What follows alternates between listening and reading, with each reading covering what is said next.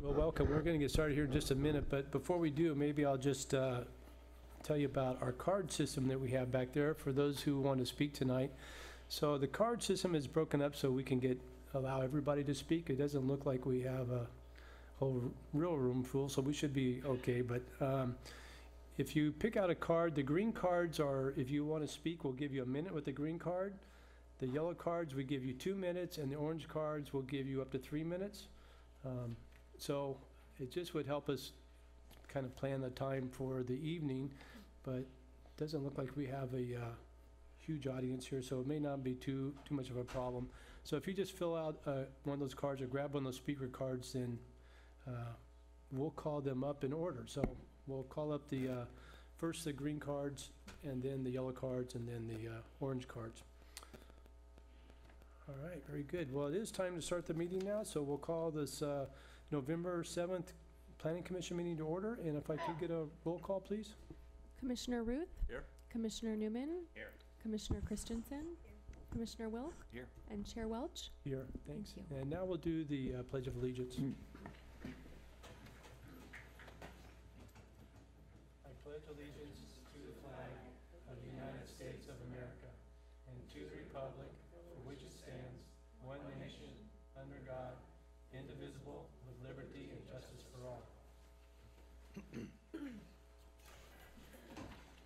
Great, well, thank you for uh, attending here. This meeting is cablecast live on Charter Communications, Cable TV Channel 8, and at and t UVerse Channel 99.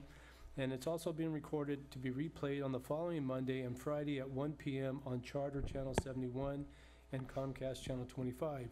Meetings can also be viewed from the city's website, cityofcapitola.org. Our technician tonight is Kingston Riviera. uh, Rivera. And uh, just as a reminder, if you have phones, if you could put them on vibrate mode or silence, that would be appreciated. And uh, with that, we'll start moving forward with the meeting. Um, First, we're going to start with our oral communications. Any additions or deletions? Yes, so there were 16 additional material emails. They're at your dais there, and they're in the back for the public to view. Very good. And that bicycle community, do we have anybody here? They have a pretty good network of getting the word out, so I think all 16 came from the bicycle community, but thanks for that. Um, Public comment. So this is our public comment period. This is for someone that would like to speak about an item that is not on tonight's agenda. And so that would be anything outside of the Capitola Mall. Uh, We'll give you an opportunity to come up and speak uh, to the planning commission, address us. Okay, seeing none, we'll just keep moving forward. It's time for commission comments? Nothing. Uh, Staff comments. Um, Actually, I'd like to take a minute just to introduce our team. Um, This evening, we have Eric Phillips with us from our city attorney's office. And um, you've heard over the past couple meetings, I keep introducing that we've hired new consultants to work on behalf of the city uh, related to the mall project. Um, To my, to my right, I have Matt Otteson. Uh, He's a planner with RRM Design. And to his right is Scott Martin, um, an architect with RRM Design. And John Schwarz, our planner extension of, working as, he um, owns JHS Consulting and is working as an extension of staff for the mall project. Great, well, welcome. We Appreciate the help. Okay, so we'll move on to item three, approval of our minutes, and we have two sets of minutes. Uh, One set from October 3rd, and I don't know if we need to do it separately because we, uh, if somebody missed a meeting, but, um, so if I can ask for approval of our October 3rd Planning Commission meetings? Moved. Second. Motion is second, all those in favor? Aye. That passes, and now for uh, 3B, for our special meeting on October 17th. Move approval. Have a motion Second. and a second, all those in favor? Aye. Aye, and so that also passes unia- unanimously. So now we're going to move forward to our public hearing section of the meeting, which is on the Capitola Mall. And I just want to give you a little bit uh, of an idea how the, the night will go uh, as far as how we're going to roll this out. So first, we're going to have John, uh, as Katie just introduced, Schwartz of, uh, and he represents our city uh, with JHS Consulting. So he's going to give a basic overview of uh, the project. After that, we'll have Merlone Geier, who is the applicant for the mall, give us an overview and history of the uh, project design. Uh, Then we're going to have stakeholder agencies and technical review feedback with uh, John Schwartz. Uh, Then we will move on to RRM Design, who um, have been in part of this process, working with Merlone Geier, representing the city on kind of making sure we're staying on track architecturally. And then after that, Merlone and Geier will have a chance to follow up with anything uh, that they think they missed after hearing RRM uh, discuss it. We'll bring it back to the planning commission for questions that we may have, and then after that, it will be time for the public hearing for you to speak. Um, And after we hear from all those who wish to speak tonight, then we'll uh, bring it back to the uh, planning commission for final comments and direction. So that's the general plan. So with that, I guess I will turn it over to John. Great. Thank you, Mr. Chair members of the commission. Can you hear me okay? Um, Again, this item tonight is a conceptual review for redevelopment of a substantial portion of the Capitola Mall property. Conceptual review provides an applicant an opportunity to obtain early feedback on a design prior to submitting a formal application. In this case, Merlone Geier is seeking guidance and feedback on preliminary design for about 31.4 acres of the 46-acre Capitola Mall site. Uh, Mr. Chair ran through the, sort of the outline for the item tonight. I'm going to skip over that. I'm just going to touch on briefly the site itself. I think everyone is familiar with the mall site itself, but it's 46 acres in total. It's in the regional commercial zone designation. The site is located west of 41st Avenue between Clare Street and Capitola Road. Currently, there's about 640,000 square feet of retail uses on about 10 parcels on the mall property, which is surrounded by a mix of commercial development with some residential to the west and southwest. In 1975, the area was annexed into the city. The mall opened originally in 1977 was expanded in the late 1980s to include four department stores and about 100 shops and restaurants. Uh, The existing mall building has a height of roughly 35 feet and a current tenant base of about 68 or so tenants. The existing Target, Macy's, and Kohl's buildings are larger anchor retail-type stores that would remain on the site. It's a little small, I apologize. Uh, Over the last decade, the city has been focused on the long-term viability of the mall property and set out to create specific policies, goals, and actions to ensure, or to incentivize and guide redevelopment at the property. The zoning code, which was adopted in 2018, implements that recent guidance to incentivize redevelopment. The site, again, is designated for regional commercial use. This is really intended for retail and services for Capitola residents, uh, visitors to the area. The designation allows a maximum floor area ratio of 1.5 with an allowance to go up to 2.0 if certain conditions are met.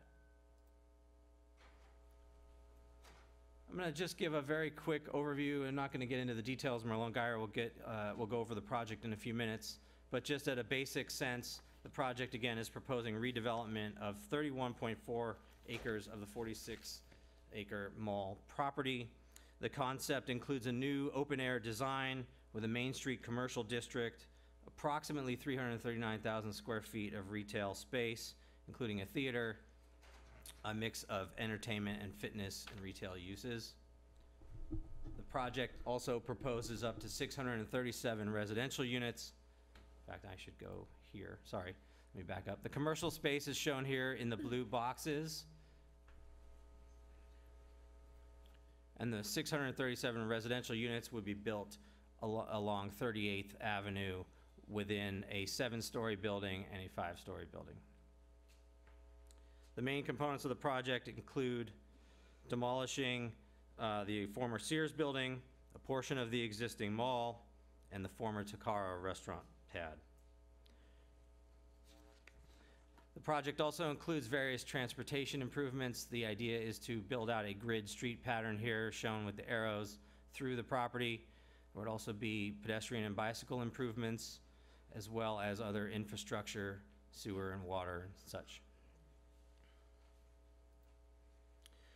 This chart just shows a little basic uh, comparison of the, uh, some of the development standards that apply to the property. The maximum column shows the, uh, under the existing designation, the maximum FAR, open space, and height limits. The proposed project is seeking a planned development zoning to, basically to allow for uh, clustering of the residential in one portion of the site and raising the height to 85 feet in that portion of the property. So again, the applicant is seeking what we call a planned development zoning. The purpose of a PD zoning is to allow for a high-quality development that deviates from the standards in the city uh, and zoning district regulations.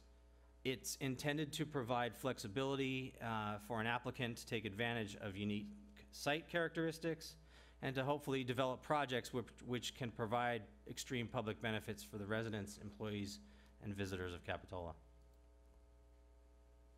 A PD zoning is required, it must illustrate how the development would be superior to what is allowed under the existing designations and how we will achieve the substantial public benefits.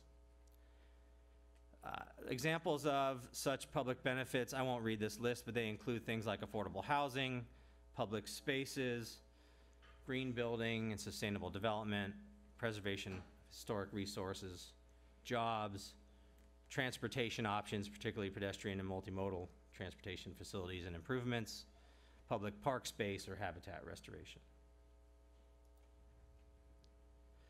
So in terms of process, uh, again, this is uh, a conceptual review process tonight. We are hoping to obtain guidance and feedback on the initial application from the Planning Commission tonight. The City Council meeting next Thursday, we will obtain feedback as well. After that, the applicant will take the direction and guidance that they hear and hopefully refine the project and finalize their application. We currently expect the formal application to be submitted after the new year, probably sometime in January. Once that formal application is submitted, the city will conduct its usual thorough review and processing of that application. That will involve detailed staff review, coordination with stakeholder agencies and interested parties, a, a second, more detailed design review by our consultant RRM, who you'll hear from in a few minutes. And then also the environmental review process, which is required under the California Environmental Quality Act, will be required at that point. We, the city has contracted with uh, Dudek to prepare an environmental impact report for this project. Given the size of the development and the interest and issues associated with it, we expect a full EIR to be needed. Uh, is, is uh, beginning work on that EIR now, but the bulk of the work will really take shape once the project application is finalized after the turn of the year. Once we go through all of those review processes, the project will come back to public hearings for consideration. We expect currently that that anticipate, uh, the completion of that process will be around this time next year. I'm going to just touch on, again, staff and, and the applicant are requesting guidance on the following main questions or issues. The architectural design, massing, articulation of the proposed development, the layout and circulation, both within the site and the connectivity to the surrounding properties and adjacent areas, the mix of the proposed uses, what are the desired public benefits, and affordable housing. So with that, I'm going to turn over to Merlone Geier to go through the project, and then we'll come back and talk a little bit about the technical reviews. Thank you, John. Chair, Commissioners, my name is Stephen Logan with Merlone Geier Partners. And so I'd like to introduce a couple of my uh, teammates that are here with me today, of Dave Geiser, Andy Neff, and Baron Karenite, who are on our project team, supporting us through this um, development moving forward. And so what I wanted to do is touch base really quickly on, I know we've gone through a couple of these slides in the past that talks about ownership. And the reason why it's, it's really key to hear is that we only own 31 of the 46 acres that are on site. Um, but when we bought the mall, we bought the light blue part of the mall, which included Kohl's and the interior portion of the mall. Sears was separately owned, Target was separately owned, Macy's was separately owned, the Olive Garden piece, and the two banks and the Ross parcel as well. So this just goes to show that we were very limited in our in our ability to put together what was part of the general plan and part of the visioning for for the mall moving forward. And so you know, we purchased the mall from Macerich in April of 2016. At that point in time, we owned about 45% of the entire property. And like I said, Sears, Target, and Macy's all have site plan control over um, an REA uh, governing uh, document as well. So they, they, they do have approval rights moving forward, and, and we'll touch base on that really quickly in a second.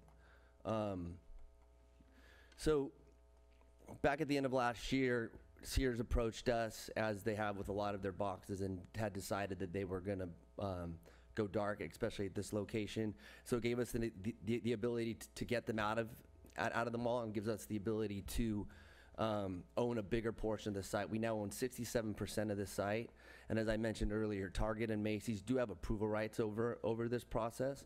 And so we have been talking to them about getting their buy-in to the current plan that we will show you here in, uh, in a couple of minutes. Um, so next, John talked quickly about schedule. We had an initial community outreach meeting in January of 2018. The feedback we got from that it was very underwhelming because we basically showed a remodel of the existing mall. Um, and so we went back, we took a lot of those comments back to our team to really think about it. And then once the Sears piece um, came to us, we decided that it was now time to put together a plan to share with the community. Um, the second community outreach meeting happened in June of this year, and roughly 150 people or so att- attended that meeting. So it was a great conversation to hear back from the community about what they really wanted to, to see as part of the plan, and we'll, and Dave will walk you through some of those ideas moving forward. Uh, the month of November is a conceptual review um, hearings. We will then submit a formal application in January. The environmental pr- review process will roughly go between January to next fall. We hope to get project approval through the Planning Commission and City Council by next fall.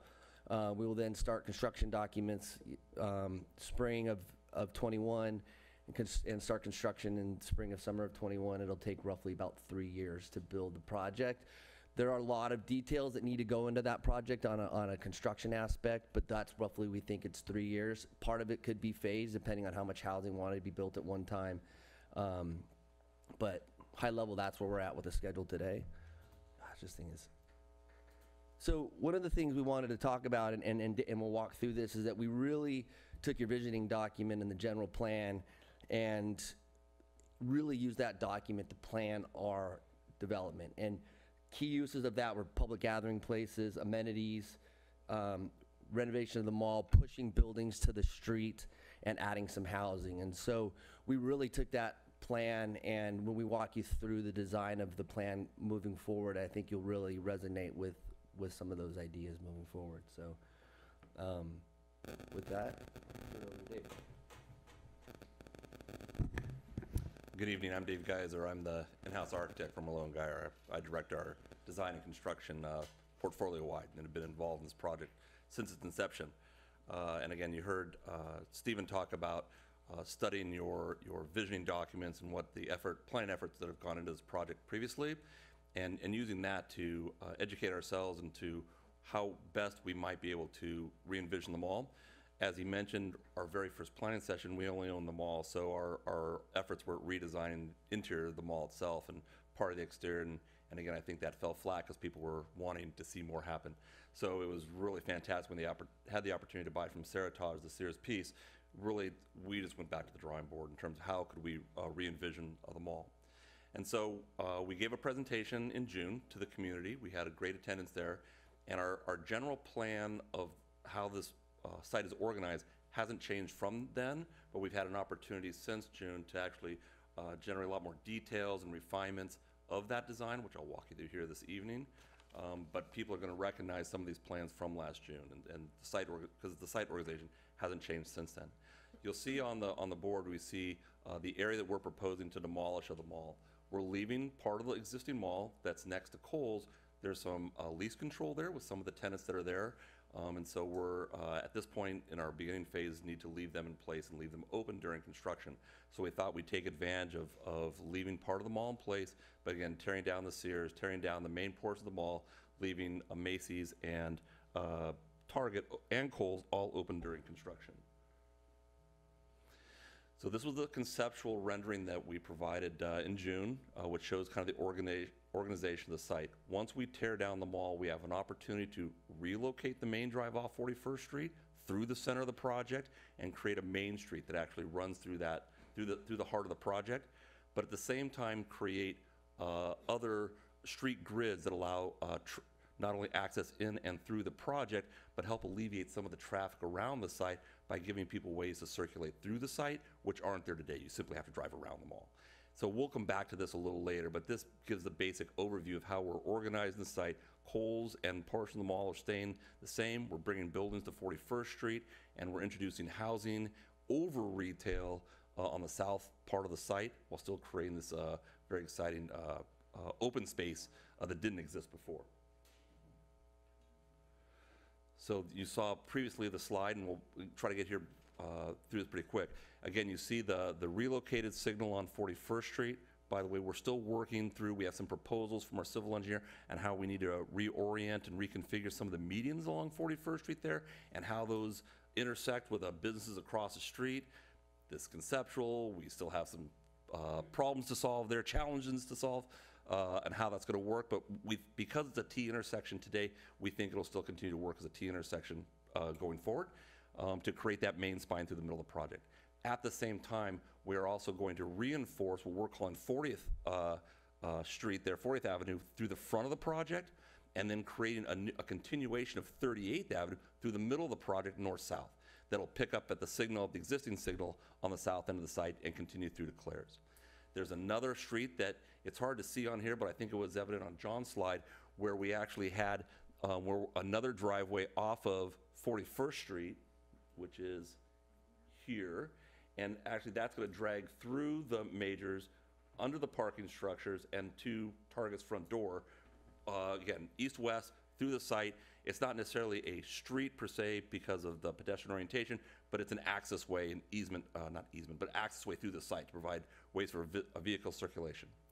And so the way the site's then organized, um, again, is that we have over, t- you, we have new 41st Street, uh, 41st Avenue, uh, retail facing the main street through the n- new parking lot there. And then our first phase of residential sits on top of that. Five stories of residential on top of the ground floor retail. Next to that in pink, pink represents n- where there's housing not over top of the retail. But over that section, we have a theater that sits on the second floor. A 10 to 12 screen theater that enters from the heart of the project where the, where the, the town square is at the middle. That's the entrance to the second floor theater that sits over ground floor retail. On the other side of the main street, we have a room for renovating the existing mall and putting new majors, new tenants, again, building on the Main Street experience. And then once we get into the project, we see in yellow again, residential B, which sits on grade. This is not over retail where the yellow is, but it sits over top of the shops that are facing the Main Street. And I'll show you some signs see how that works. And then all that builds around the big central plaza here, where now Macy's and Target, instead of entering into the mall, enter into this great public square. And so all that's highly amenitized. We'll show you some pictures of that. Uh, public gathering spaces and fountains and artwork and seating and gathering. All that happens now at the heart of the project. Again, all this, there's zero open space today at the mall, as you well know. There- there's no place to go outside. And so the idea is how do we celebrate these areas and create these plazas, and public areas that didn't exist before that act as a, as a true uh, magnet to gather people there. And then uh, exiting through the project. So we'll just keep clicking along here. This is the second floor that I talked about. We see the theater on the second level in pink. Yellow is representative housing. And then we see Target, Target and Macy's in their second floors that exist there. And the existing parking structure for Target that we're not touching either. Signage is going to be a big key of the project. There's very little signage today, and the, the tenants that are going to want to come inside the project without exterior facing frontage and, and visibility are going to want signage uh, facing the street, so the people know that they're there. So we're proposing additional signage on 41st Street and around the project and throughout the project. Uh, This is one of the things that does not comply with your current uh, code, so this is a, this is one of those above and beyond things that we're looking for. And so we're in the process of, one, changing the name for the identity of the project. We heard through our community outreach that we wanted to keep the name of Capitola in the name. We've done that. And we thought because of the great center, a square, the plaza area in the center, a town square name seemed appropriate for this.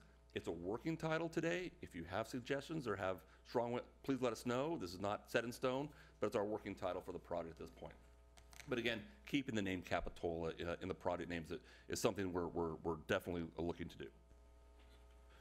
And then uh, preliminary design for uh, project identification, not only on 41st, but on Capitola. And then we're uh, planning on renovating the signs that exist through the Target and Macy's and Ross parking lots that we don't own, they're not on our property, but we're gonna renovate those as part of the, the project. That's in the upper right-hand. And we'll build, uh, we're proposing to build new, smaller signs, 12-foot tall signs at other entrances throughout the project. Again, identify not only existing tenants that are there, um, but our new major tenants that we're proposing, such as the theater and some of the other majors, who are gonna want that kind of signage. All right, into some of the visuals. So this is the information we didn't have before and that we've been working on since June.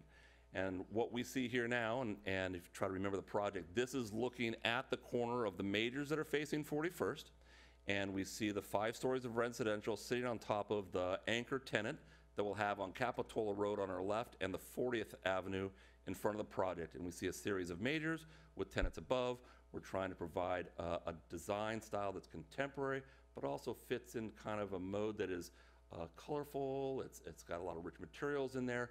If you look in your packages, you'll see elevation sheets and rendering sheets that have listed on there the different materials that we're proposing on each of these elevations. We want to enlarge these elevations for this presentation, so we've taken them out of here, but they're in your package. So, so each rendering, each elevation has, has material, proposed materials. And the idea is, is instead of just plain stucco buildings here, we've got rich materials and metals and woods, and we're still using some plasters, but using uh, materials such as you walk at the ground level that creates more visual interest. Uh, it just, it creates a warmer building. So this is then, I'm looking down the main street that we're creating here on the right-hand side. This is another uh, anchor tenant facing 41st. We have to provide, because there's existing, I don't know if you remember, there's Target and Macy's signage up above now facing 41st. They have the rights to those signs. So we're proposing that we keep their identifications in those locations, but trying to integrate those into the architecture. And then on the, the box that is the theater, because the theater box on the outside is really just blank wall, um, we're proposing a, a, a, a graphic there that not only tries to create a, a more of a, a vibe that we're trying to create for the center, but also some visual interest. And again, this is a placeholder. This is, is not, it remains to be uh, designed, but we, the idea is that, hey, we're trying to create some graphics up there on these wall spaces. This is the theater entrance itself. So at the intersection of 38th and the Town Square Way, the, the Main Street Center, this is where the entrance to the theater is. The idea is to drag all the people that are going to the theater through the main square, through the public space, energize uh, that town square area. So if you're walking in through the corner up to the theater up above, again, use of strong graphics and visual cues like cinema marquees uh, at that entrance, using contemporary design for this. Uh, Here we have then on 38th Avenue, as I'm coming in from Capitola, again, I have my residential. Over, at this point, we're trying to activate the ground floor with leasing offices, um, and they'll end up having some kind of, probably some kind of gym and other hangout areas and common area space. We'll activate the ground floor with those type of uh, uses uh, down that residential street towards Capitola. In fact, and this is a good time for uh, Stephen to jump in, just to talk quickly about the type of housing we're looking at. So we've, um, we did a Concord report to go look at what type of housing is needed in Capitola and Santa Cruz County. And it came back that, you know, multifamily, studio, one and two bedroom was really needed, you know, with the occupancy around, um, Santa Cruz County. It'll be market driven. We're gonna, obviously, affordable housing is gonna be a big component to this and, and we'll, and we're gonna do per, per city standards and, and discuss that with staff. There, there's two other potential types of housing here. It's independent living and senior living. You can imagine putting 630 units out on the street at one time that the, getting, getting them to be occupied at the same time might be difficult. So when we're talking to housing groups, we're looking at other types of housing as well, so not just multifamily.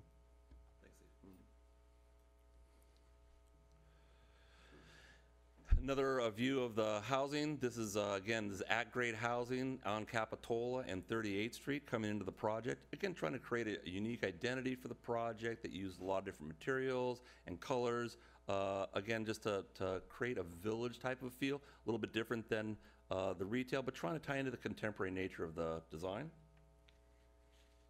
So now we're on Main Street looking back towards the, uh, the east.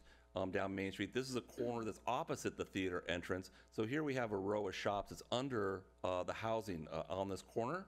Um, again, using the housing over Main Street to help create a village-type feel, and at the same time, trying to create individual tenant spaces. In your village, you have, you know, each individual shop and each, uh, they each have their own identity. The idea is how to create that type of a vibe or feel for a village, not a village, we're not trying to redesign the village here, but a, a real sense of, of a town square by creating individual identities for the different tenants. And, and so that, that's what you see here, and, and you'll see in some of the other slides, that the, the individual tenants, it's not like a ball where everything's the same and they only have control over a small section. We're redesigning the entire building for individual tenants. So this, as you would be standing in the food court, I guess, of the existing mall and looking back towards the Target entrance, this is now how we're opening that up and flanking the Target entrance with other retail restaurant uses and uh, enhancing the outdoor space with gathering spaces and outdoor dining. And then conversely, if I turn around and look back the other way towards the Macy's entrance, again, standing, you know, there in the center spot of the old mall today, looking back and how the Macy's entrance is then flanked by shops and really the heart of the center with outdoor uh, play space and gathering and artwork and benches and uh, maybe some graphic screens. We're really trying to create a different uh, identity for the shop, individual shop spaces, but create a really wonderful outdoor space for the community to gather.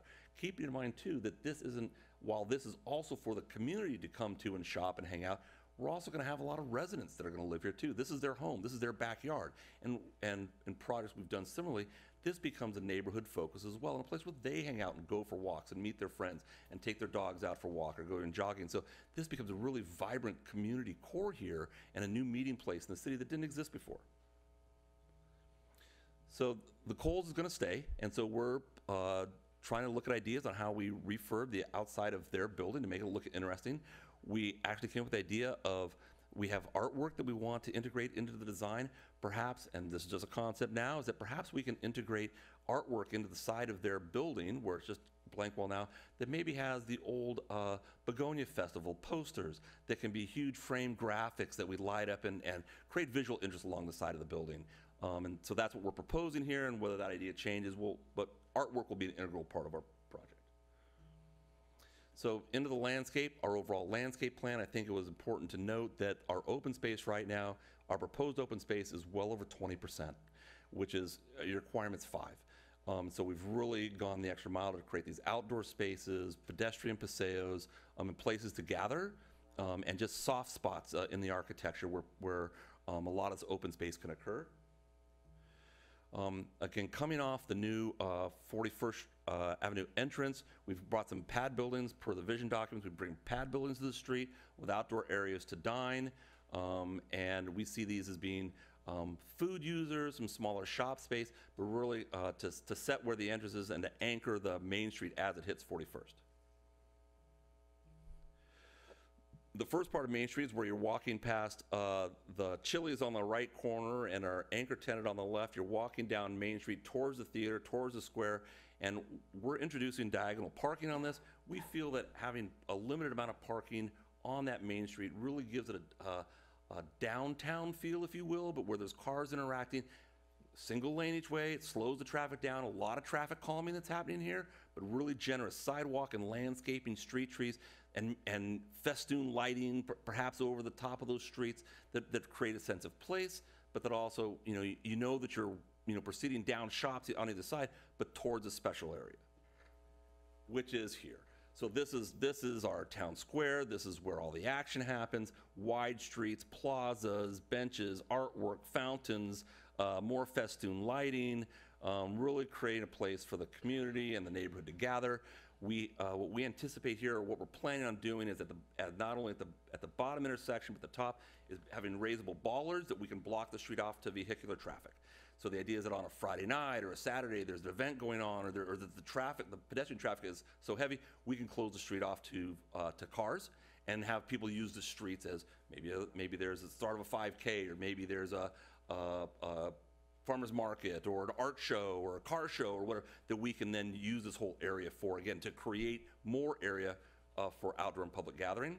And because we've created all the additional circulation throughout the site it doesn't impede any of the traffic uh, going around um, this is probably a good time because I've forgotten to mention before. Part of our plan, essential part of our plan, is relocating the existing transit station. Where it sits right now, it really blocks access to the mall. Um, it's difficult in terms of cross-traffic between the buses, the pedestrians. And so we've, uh, we've brought back a previous concept that they had to relocate the, uh, the bus, the transit center back between the, the Macy's and the Kohl's on the back end, which was a back corner. Well, now it's a front door to the project. Now, now it's really on that 38th Avenue spine.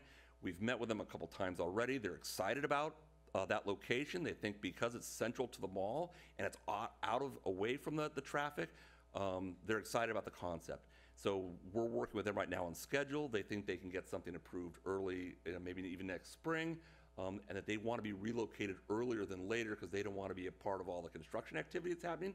And because the access is in and out of Clares Street, it's, they can, they can operate independently there while the construction is going on. They're very excited about relocating, and I, we just think it's going to be a great, not only can we upgrade that, a transit center to include multimodal, we have bike racks and bike storage and those type of things. They're running, uh, starting to run electric buses, there's charging stations. So we're all very excited about moving them, putting them in the right place for the project, and, and obviously that's part of our, what we consider part of our community benefits. Speaking of community benefits, ah, I ended on the right note. Thanks, Dave. So what we, what we believe is some of the community benefits um, today is that economic value by adding new relevant retail and restaurants. Not, if, in case you know, 60% of the tenants that are in the mall today are temporary tenants. And so we would like to bring new relevant retail and restaurants, quality improvements to the community, outdoor amenities, sidewalk cafes, improved outdoor walking and bike paths. We did see that a lot of the comments today were about biking, and I think, you know, as we start developing this um, further along, that we're gonna have to incorporate more of that into our project. Uh, Community gathering places, additional housing for the community. Dave mentioned, you know, relocating the, the transit center and a transportation system enhancing mobility through the site. So um, with that, I will turn it back over to staff. Sure. Sorry, and I should have mentioned this before I turn it over. This is just a scratch of the surface of the information that's provided in your package. We're trying to limit our presentation. There's a lot of information in there, and, and I think you'll hear RRM comment on some of that that we haven't had a chance to take a deep dive into. This is highly conceptual, and we're, we're anxious to dig in more and, and develop the details regarding circulation and bike paths and all those kind of things. Those are details yet to come. Um, but yeah, there's, again, a lot of information in your package. We, and the one thing we missed, but we should talk about, is we're treating uh, water quality. We're not only treating now every drop that leaves the site that wasn't done before, um, and we're doing uh, the, the, uh, the amount of uh, water storage that needs to happen on site as well, underground. Um, and so, and we're, a lot of our design is yet to come because we haven't seen a lot of the studies. We're still studying traffic, we're still studying arborist reports, we're still studying all of those things that all come together, they layer into the project, we'll be developing at a later time, and you'll see in a future application. So with that, thank you. Thanks, David. Thank you, David and Stephen. Um, And thank you for mentioning the metro relocation because I completely neglected to mention it myself, so I apologize for that. Uh, Also wanted to add that the future application is, I don't think I said this either, that the anticipated application is going to most likely include, in addition to the plan development zoning, a vesting tentative map, potentially a development agreement, a design permit, and a master sign program, so thank you for touching on the signage as well. Okay. Um, Briefly, we're going to just spend a few minutes talking about some of the stakeholder feedback that we've obtained so far and some of the technical internal reviews that have happened based on the initial application. Staff shared the application with uh, some of the stakeholder agencies who uh, serve the site or are uh, interested parties in the area. Uh, Some of the feedback is here, This slide's a little dense, uh, I apologize for that, but uh, the staff is coordinating with Santa Cruz Water regarding the project. Given the size and nature of the project, uh, a full water supply assessment will be required as part of the project review and the environmental review. So we are working with Santa Cruz Water now to scope that work and, and iron out the processing of that document. Will become part of the EIR. Uh, County Sanitation District has weighed in. There likely going to be some increases to downstream sewer mains. Um, uh, This would flow to the East Cliff Pump Station. It's currently anticipated that it could handle the increase in flows, but uh, much more detailed analysis will occur during the formal application review and the EIR process. Staff has reached out to uh, the Fire District and Soquel Union Elementary Uh, We're coordinating with those folks, and some feedback from those agencies is currently pending. Um, Again, they will take a deeper dive during the full application review. But in all of our conversations thus far, we haven't heard any showstoppers from any of these folks, again, pending further, much further analysis. Internal staff uh, has reviewed the initial application as well. Uh, Some of the comments, and I don't want to spend too much time on these because RRM is going to get into some specific feedback, but just to hit a few highlights for you all. Uh, Some of the main staff review comments about the initial project, thoughts to consider at this point in time, possibly rotating the building pads that are along at the 41st entry there to create more of a connected pedestrian experience along Town Square Way all the way through is an idea. Um, There's some concern with the repetitive and massing of the building on, buildings on 38th, and whether they fit with the style of Capitola and the development that exists. Um, The taller buildings there also could have some shade implications for the road, open space areas, and the shorter buildings to the north of Town Square Way. That will require some further study, particularly the shading in, in the environmental analysis. Uh, Comments regarding the alignment of Town Square Way, and David spoke a little bit to this about the connections with the uh, Brown Ranch and Whole Foods and uh, uses across 41st. Request to add more landscape improvements, elements along the frontages, particularly 41st and Capitola, uh, making them more pedestrian-friendly, green, more improvements to, to enhance the frontages of the site. Uh, The development should include active public park space on the property. We want to ensure that the public realm spaces are sized to accommodate the activity that's intended. And one example of this, we've discussed this with, with Merlone Geier as well, is the dog park area seems fairly small for the use that's intended. That's the kind of feedback we're talking about here. Making sure that the uses we want are, are going to fly. Uh, We want to clarify that there are enhancements for all the different age groups that would be served on the site. There may be residents with young families, seniors, young professionals, a mix of, of everyone. We want to make sure they have facilities to use, pedestrian activities, recreational areas to use on the site. And we also want to look at um, integrating public art uh, within the pedestrian area and public areas. Staff also uh, hired Cosmont companies to conduct a fiscal impact analysis of this initial project. Um, And I know Merlone Geier has their own information, and they can talk to that, or we're trying to compare ours with theirs, but I'm going to touch on the results of the Cosmont analysis really briefly. Um, The project would, redevelopment of this site would certainly improve the economic health of the shopping center itself. Depending on the actual taxable retail sales, this could end up being a slight fiscal benefit or potentially a slight deficit to the city.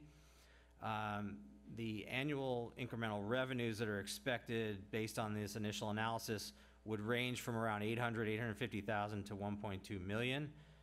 However, with the addition of residential on the property, the project would increase the population of the city by maybe about 12%. That increase uh, would cause an increase in the city's expenditures to serve those residential units. Um, And that may range from 875,000 to a up to, to a million per year. So what that means, overall, the net fiscal impact could range from a slight positive to a slight negative. Some of the other points raised in the analysis, uh, given the, the recent trends downward in retail sales uh, in general and, and on this property, there are poor projections of future retail sales on the, as it exists today, which certainly results in a risk to the general fund. What uh, we're interested in diversification of uses on the site, combined with potential financial tools that can help us make sure this is a positive fiscal impact for the city. The Cosmont analysis talks about potential tools to increase revenues from the project and also maybe help diversify the base. A couple of examples of those are listed here. One would be building a hotel on the site as part of the project. Another would be to establish a community's facilities maintenance fee or enact an entertainment tax.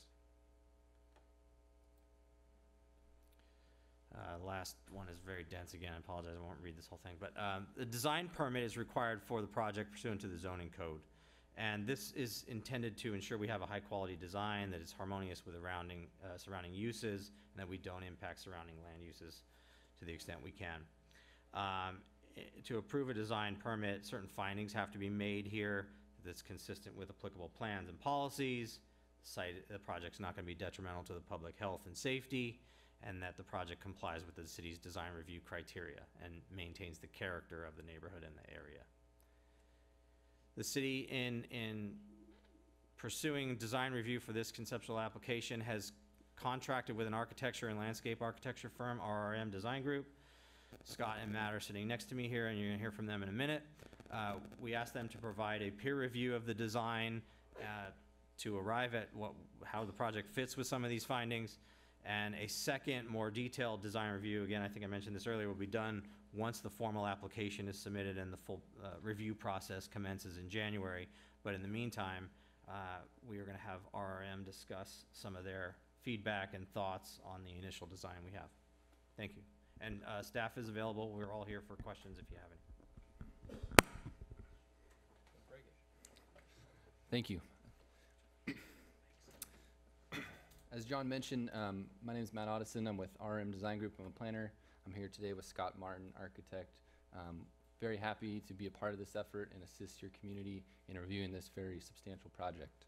Um, just a quick presentation overview. Uh, we're going to go over who we are as a firm, uh, sort of our process and framework for design review, um, get into our concept review, hit on some of those bigger topics, um, and then some, some of the main takeaways, uh, and then end with next steps and questions. Uh, RRM Design Group is a multidisciplinary design firm. We have four offices across California. We're fast approaching 150 employees, and uh, we've been in business for over 45 years. We have architects, civil engineers, landscape architects, planners, uh, et cetera.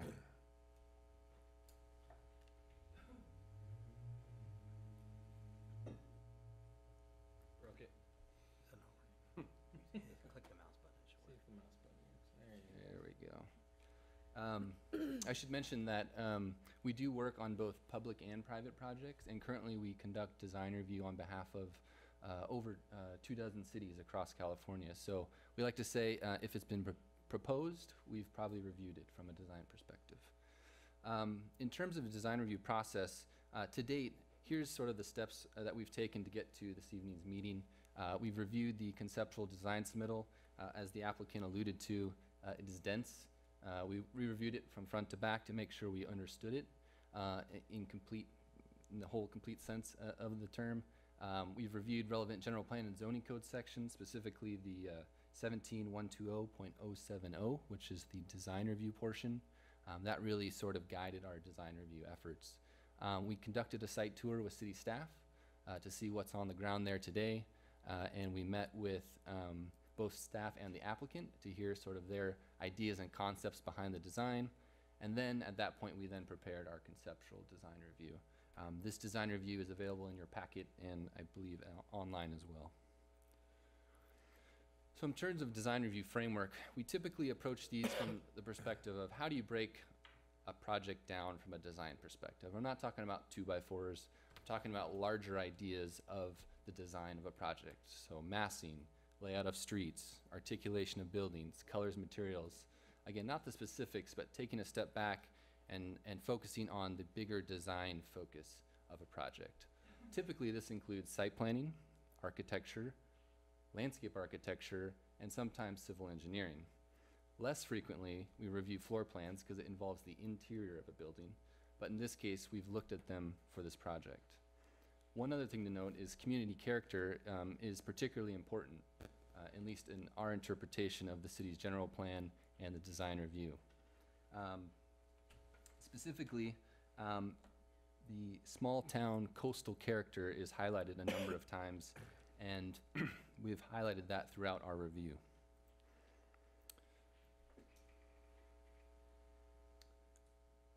To, to dive into a little bit of the nuts and bolts, um, specifically the general plan in its guiding principles talks about community identity, the small town feel, coastal village charm.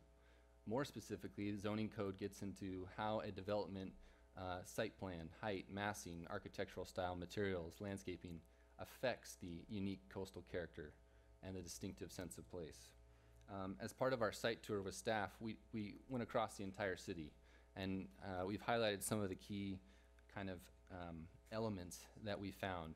Uh, the Venetian Hotel, uh, the Trestles, the Six Sisters, uh, and the various buildings in the village that all have that coastal character.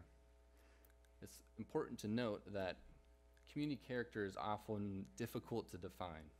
You can't point to one thing and say that is Capitola, but often it's a collection of items. It's the placement of plazas, building adjacency to one another, the use of colors, materials.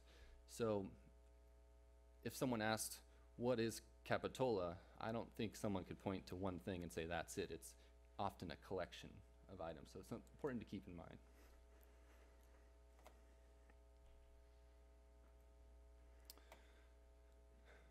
So we started with site planning, and this involved the street layout, and the applicant touched on this.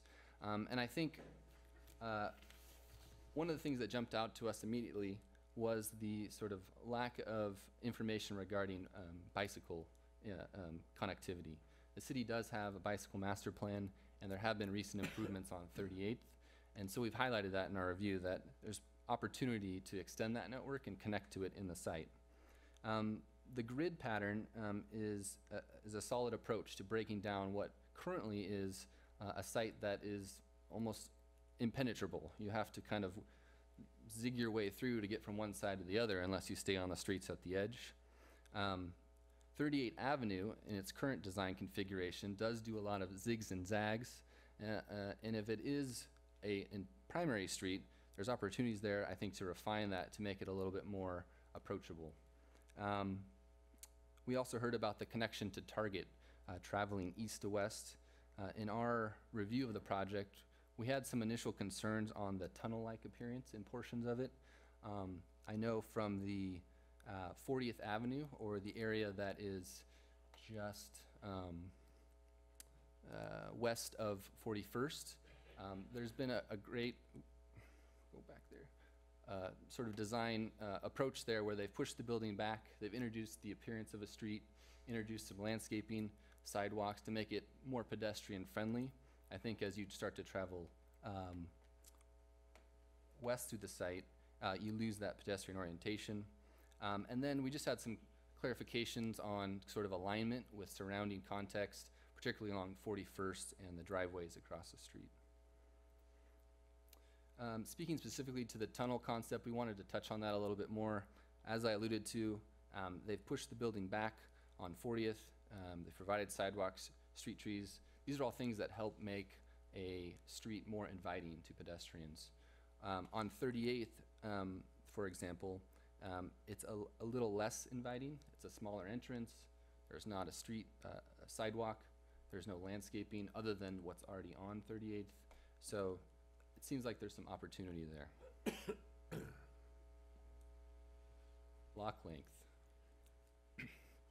We took a, a quick analysis on the village. I think it's a, a, a very identifiable, identifiable uh, experience from, from a block length perspective in the city.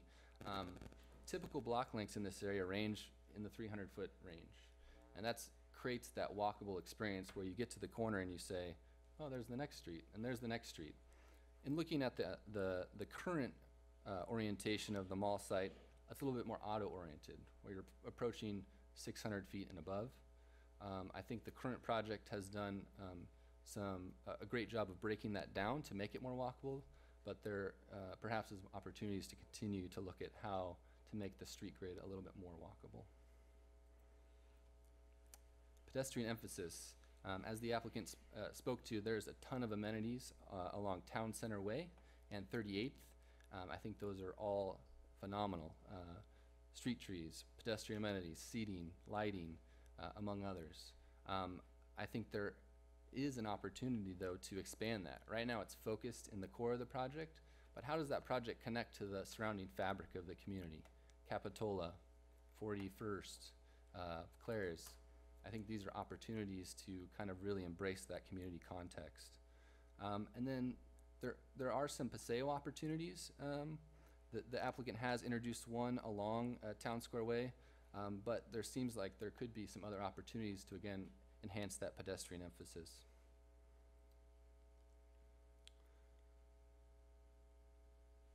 In reviewing the site plan, there was a number of sort of pad buildings along 41st. Um, and while the applicant has articulated those um, from a streetscape public realm perspective in a very uh, uh, um, well-thought manner. It seems like there's um, some additional uh, opportunity to connect sort of the main activity area uh, along Town Square Way to 41st. Again, that idea of connecting to the surrounding city fabric um, and uh, really attaching those different development areas within the project.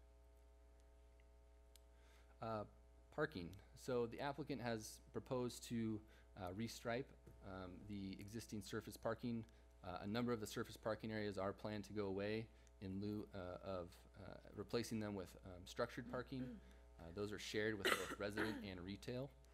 Um, While the applicant has largely hidden those within the development, there are some areas that currently are visible from the exterior. We've highlighted one here, Building B, the west elevation. um, That would be visible along Capitola and Clares.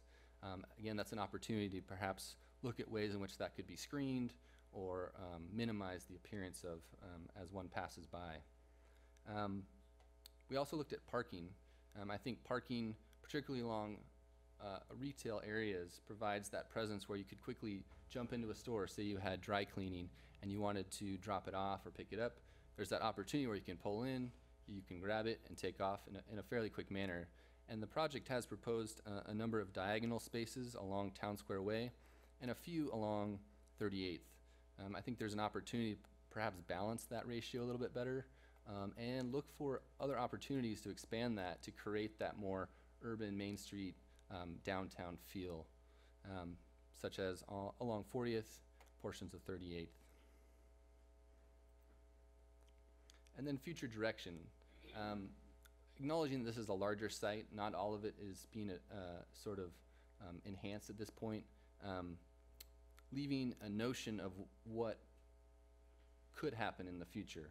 I think some of the, the topics that I've touched on allude to sort of that future idea, whether it's sort of creating that Main Street appearance along 40th, um, but, but extending uh, these other ideas where it really informs any future development that could occur. So at the end of the day, if once this site is in some far off future fully developed, it feels like a cohesive uh, development.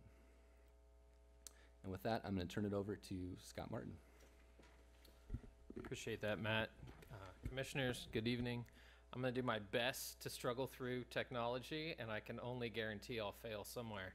So um, it, it's been a pleasure uh, working with Merlone Geier, working with the city, um, exploring your city and getting to know it a little bit better. Um, it is clear in your city policy and goals that you hold your community character to um, a very high standard and we're excited about how this project can start to embody and distinguish itself within within Capitola. Um, as Matt said, one of the first things we did was was a city tour, and uh, when you start talking about architecture, you know, when I still talk to my mom about what I do for a living, she says, "Are you doing Spanish-style houses, or what?" Do you, and I tell her, "Mom, I, I half the projects she can't even name a style anymore." And I, I think that's that's one of the real unique community character aspects of Capitola is it's a very eclectic mix of architectural styles. This is not Santa Barbara where everything's white uh, mission style with red tile roofs. There's a there's a great sort of um, community fabric that embraces that coastal Californian um, history and builds upon it in, in new ways that create um, ultimately, especially what you see in your village, a unique series of architectural moments. And, and I think that's that's what this project wants to embody, and I think it, it's heading down that ro- route, and um, we're excited to see where it goes. Especially from a commercial standpoint, for th- for those of you who have been out to the mall, um, you've seen some of the 1980s at its best. Um, very large boxes, very um, repetitive forms.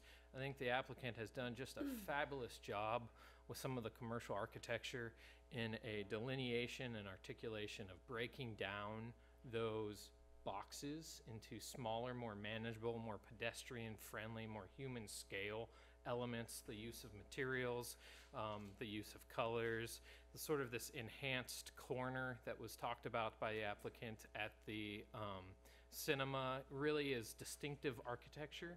It helps define place as you walk through the project. anybody, you could tell anybody, meet me at the cinema, and they would know where to go. So, so we really appreciate that and enjoy that. Um, I think there's some room to, to continue along with that, and hopefully we'll touch upon how that can be extrapolated into a mixed-use environment, um, thinking of this as a holistic project and not just a commercial project. Um, we feel it's the residential portion of the project that really sort of lacks that same, same distinctive architectural finesse. Um, there's portions of the building that, that continue on for 700 feet, um, that's rather long and continuous without a lot of wall plane change, roof plane change. There, there's nods and elements of pulling buildings forward and pushing them back, and, and we're looking for ways to, to enhance that even further, create distinct architectural moments along those larger building elevations. Um, even in the commercial massing, there's some nods to multi-story. I think this is a great uh, view that shows more than one uh, parapet line. So I think that's that's a great start towards creating distinctive retail spaces. That's what the retailers want themselves. That's how you're going to create more viable retail. Um, we've seen other examples of projects like this that, that actually try to even capture a little bit more of that second floor in that, that two-story appearance as, as retail massing is very tall. Everybody, even your Starbucks now, you go up uh, at least 20 feet in your ceiling. So the, those building forms can start to expand quite tall and create large foreheads and blank space, or that can be just filled with signage. So finding ways to either add some roof elements like they've done on the corner here, or um, some two-story uh, architectural elements to help it feel again more uh, more eclectic and more of place. Um, more so uh, with the residential and commercial mix, that's really where we're finding a, a disconnect in the architecture. Um, many of uh, the the mixed use visualizations almost appear like there's a commercial building with a residential one just stuck right on top of it. There's a lack of sort of vertical integration.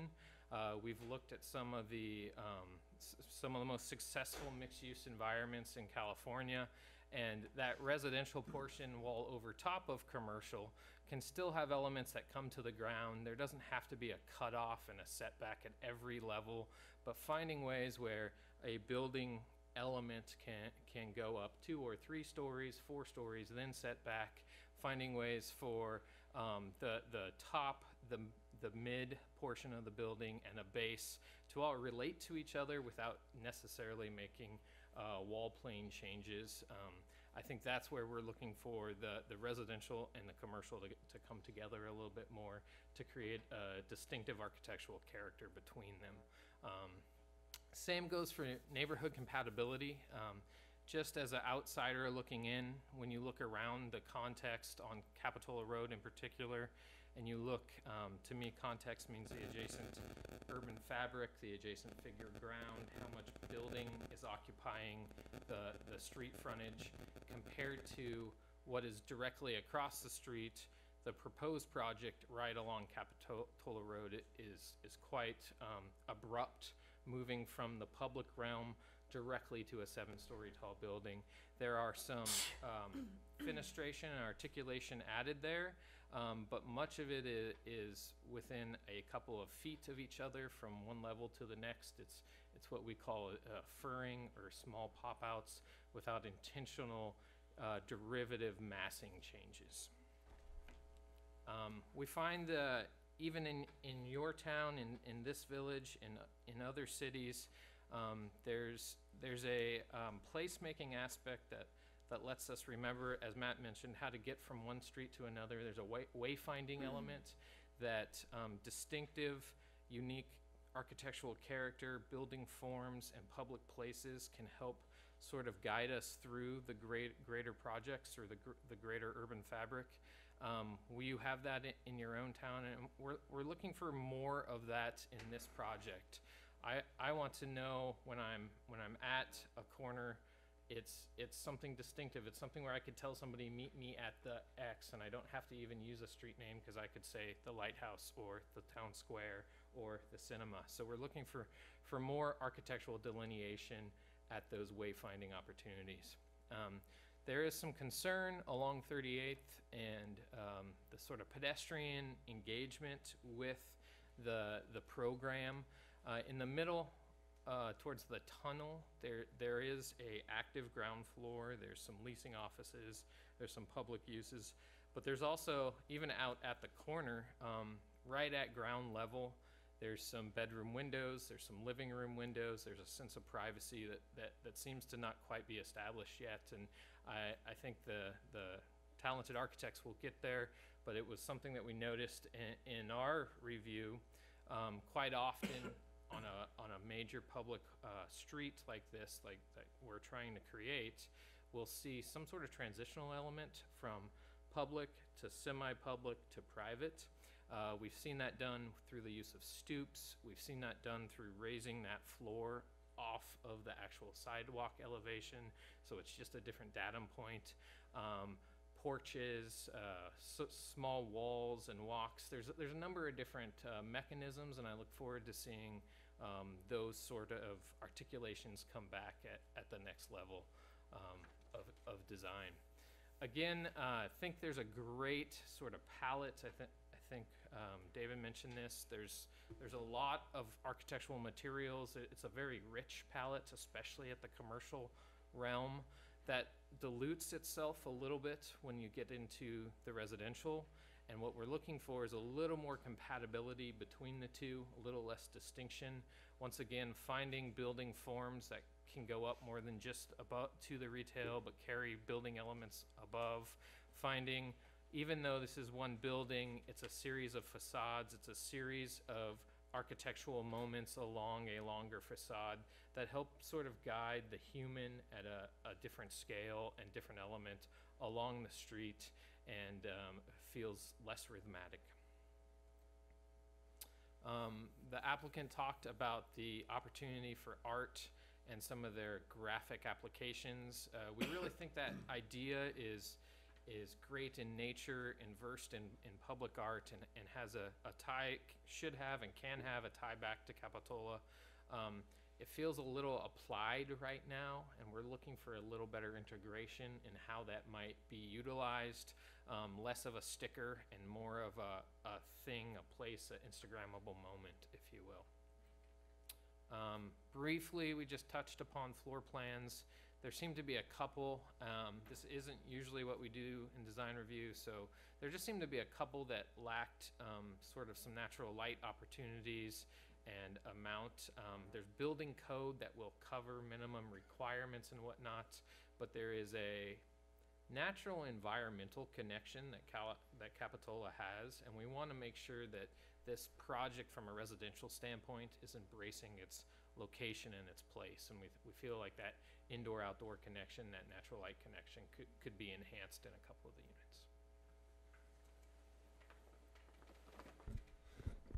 units. Jumping into the, uh, the, the public realm and sort of the landscape architecture component, um, I think one of the strong um, areas of the project is that the applicant team has focused in on breaking these areas down and theming them, um, the tides and the estuary, and sort of letting those themes kind of inform the design elements that appear within the project, within the public realm. Um, I think there's some opportunities to perhaps enhance or build upon those. For example, um, as shown on the screen, this is the tides portion on the Town Square Way. They have this boardwalk concept that comes out from the building, um, a great connection to the coastal character of Capitola. Um, but perhaps there's opportunities to accentuate that, whether it's sort of the appearance of a beach scene or a pirate ship playground. Those ideas, again, tying back to the coastal character, even down to the landscape used. Uh, and then the name, um, Town Square, um, it evokes a certain idea in some in people's minds. Um, I think that the the current proposal um, is is beginning to head that direction and have a, a strong component where um, a definition of place, where the community can can, gather, where farmers markets can happen. Um, we've provided two examples. Um, I've actually been to both of these, and there's a phenomenal uh, farmers market up in Arcata, California, Northern California it's active. Uh, one of the most active I've been to.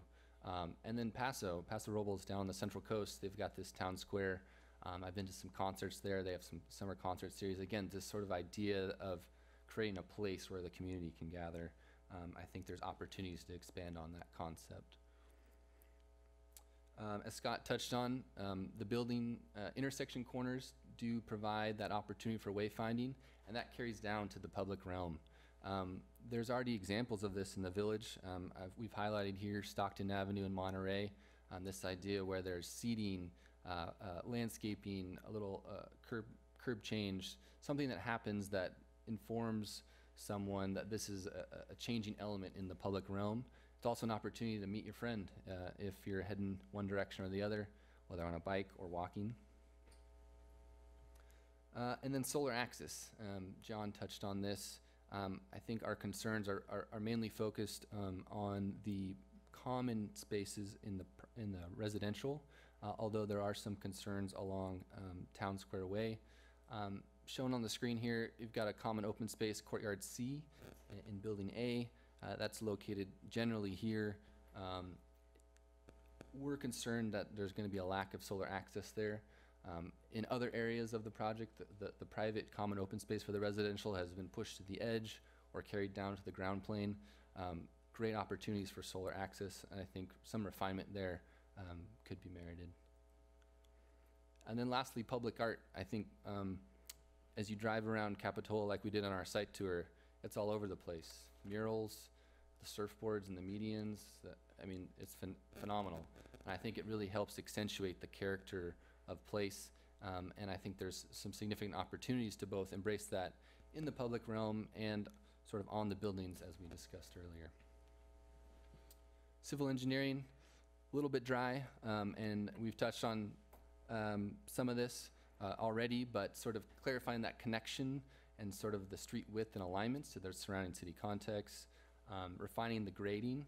Um, um, in having our civil engineering team review this, there was some areas where the grade seemed excessive. Um, clarify stormwater drainage. Um, some of it um, has a very heavy emphasis on sheet flow or water across the surface towards buildings. Um, just getting some clarification on how that works. Uh, and then um, we heard from the applicant this evening, but I'm sort of verifying with Metro that the transit center location and its alignment is appropriate. Um, some main takeaways, just to kind of wrap up.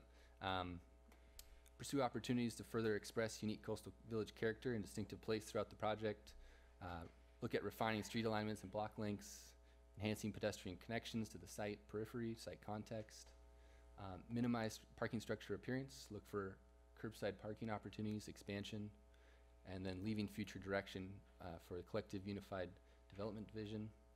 Uh, further refinement of the commercial architecture, enhancing the residential architecture to create greater variety, introduce pedestrian scaled elements at the residential, integrate currently separated residential and commercial portions of the project, more appropriately address project context along Capitola Road, refine articulation and detailing to create individuality in the buildings, embracing those primary intersections, on and on. I don't want to belabor it, but um, um, next steps, um, we'll continue to meet with city staff and the applicant to provide uh, any clarifications on the concept design review that we provided. Um, once a formal application is submitted, as John alluded to, RRM will work with city staff to conduct a more thorough design review of the revised project. Thanks. We'll be available for questions during the planning commission comment period. Thank you. I'll take over for just a minute here while our chair returns. And I think the next step was to have Merlone Geier uh, respond, if at all. And I would encourage, uh, because we have a lot of people who have been waiting a long time and probably want to, it might be more beneficial to use our time to get some public input. But We look forward to working with RRM and addressing all their comments. Great, thanks for uh, that, Ed. So I think um, in light of what Ed says, probably we have a few people, it looks like want to comment here. So I think what we'll do is we'll um, first ask any planning commission questions to the staff, or do we just want to jump in, I think we should let the public, uh, at this let point. the public uh, get in? Are you okay with that? ask Yeah. our And questions. th- And then we can ask, The questions, great. So uh, we're going to start off with those, uh, I believe, let me, I have to make sure, Chloe will set me straight if I'm wrong. The uh, green cards, the one-minute cards. She's shaking her head yes, so that means I'm on track here. So if you want, just want to come up, those of you that want to speak that have a green card, we'll give you a minute to share some input. And, and just let me say, thanks for coming out.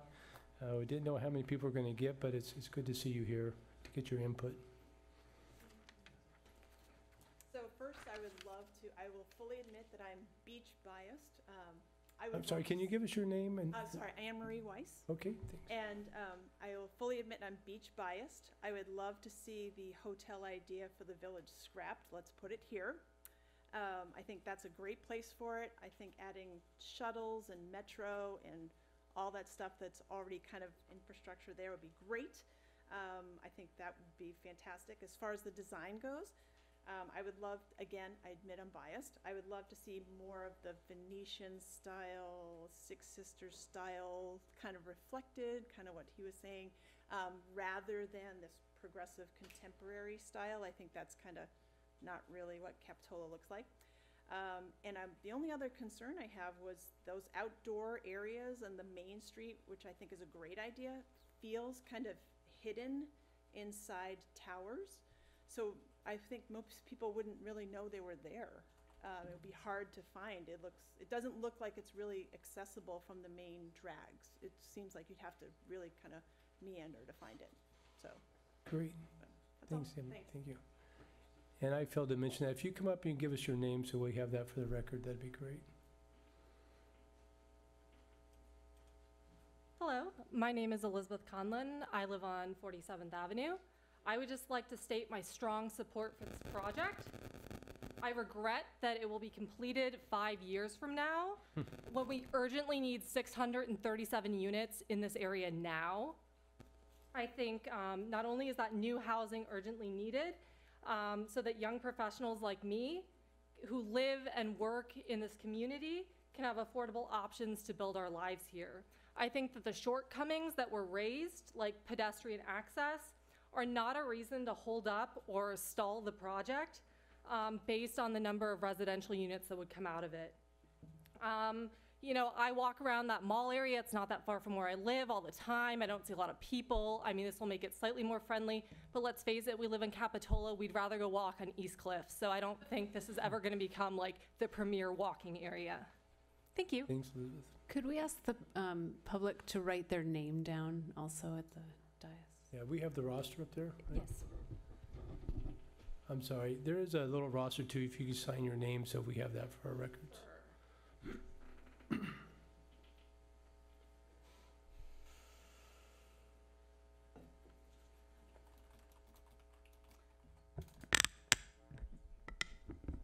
Hi, my name is Jessica Evans, and I live in the city of Santa Cruz. I'm a frequent visitor to Capitola, and I like to um, bring my kids to Capitola. We typically ride bikes to Capitola every couple weeks throughout the summer, and um, we're really looking forward to the scenic sanctuary trail coming in. And I just want to remind um, the architectural firm that on 38th Avenue between Brommer and Portola, we're going to have the scenic sanctuary protected bike path coming in. So 38th is going to be a very important connection to the community bicycle infrastructure throughout the whole county. Um, so I would ask um, and reiterate the importance of creating more um, bicycle and pedestrian infrastructure and a more welcoming um, space at 38th for the entrance to the project um, for bicyclists and pedestrians who will be um, approaching the project from that corridor to come in and to visit and to access the amenities. Thank you. Thank you, Jessica. Hi, good evening. My name is Tina Andrietta. Um, I don't live in Capitola right now, but I did for almost 30 years. Uh, I would like to see more bicycle, bicycle and pedestrian paths that also connect with the rail line uh, right there at 38th. I concur with the woman that was behind me, Jessica. Um, I would like the um, architects to, instead of driving around, ride a bicycle and walk around the community. I would also like the whole perimeter to have a wider bicycle and pedestrian path. I ride my bicycle along um, Capitola Road, 41st, Clares, and um, I almost get hit a lot. More trees, local trees. The only area that I liked of the, the design was the Macy's. To me, all the other ones look like dead zones. Cars are right up to the um, building. I'd like to see more green area, more park area, more area for people to sit, more areas to park your bicycle. I think more people are riding their bike, their bikes. Um, I'd also like you to consider, um, this is probably way off base, but a little kiddie bicycle, you know, the jump bikes like they have on McGregor that, that was voted down right here in Capitola, along with a little skateboard park. I think that would be important. And um, lastly, I would like to see maybe over Highway, uh, excuse me, over Clares to Trader Joe's and also over to Whole Foods, have a over ramp so we could ride our bicycles and walk. And um, more people want to walk and bike. It, let's get, get out of our cars. And when it's more lush, it will be more inviting, that we'll want to get out of our cars and to walk and to ride our bikes and to have our dogs and our grandchildren, and that's what I'm advocating. Thank you. Thank you, Ms. Andrade. Any more green cards? One-minute cards? No, one more? Oh, okay. Okay, how about, uh, oh, see, that was, uh, we're on the yellow cards for two minutes.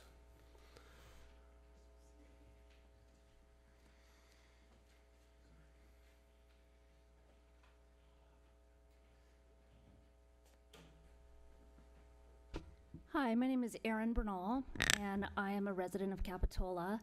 I was a member of the General Plan Committee, and a couple of items within this proposal struck my attention, uh, particularly with regard to my history in participating on the General Plan.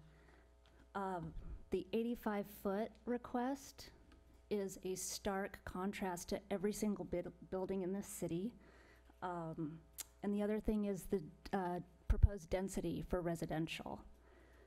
Uh, I think it's important to keep in mind that on Capitola Road, there are sizable parcels that have been identified as opportunity sites for mixed-use development, which would include residential. So as you are thinking about 637 units at the mall, it's critical to consider these opportunity sites on Capitola Road as well as parcels that have been identified for, um, excuse me, for infill development.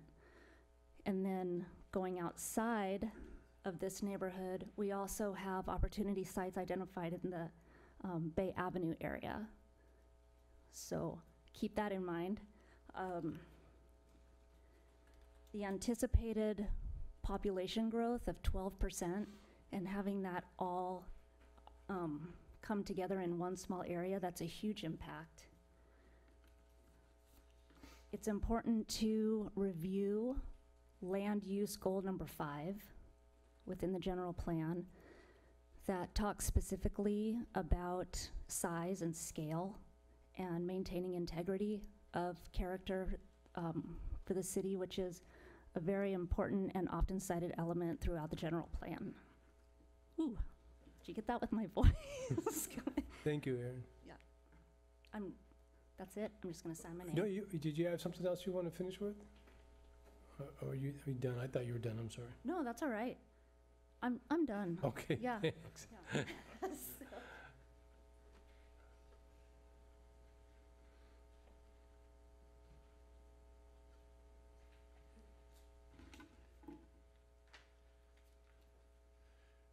Thank you, everybody. And My name is Andrew Goldenkrantz. Um, I'm here with an organization called COPA. We represent 28 nonprofits throughout the county, faith institutions, school districts, community organizations. And one of our core values um, is affordable housing. I personally uh, am a resident of Aptos. I'm a member of Temple Beth El, which is a founding member of COPA. And we have 60 of our congregational families who are Capitola residents. Um, I'm struck by the beginning of the staff presentation where you said the first public benefit that you identified was housing affordability. And we know that the county is 11,000 units short of affordable housing. The median income, household income in Capitola is $69,000.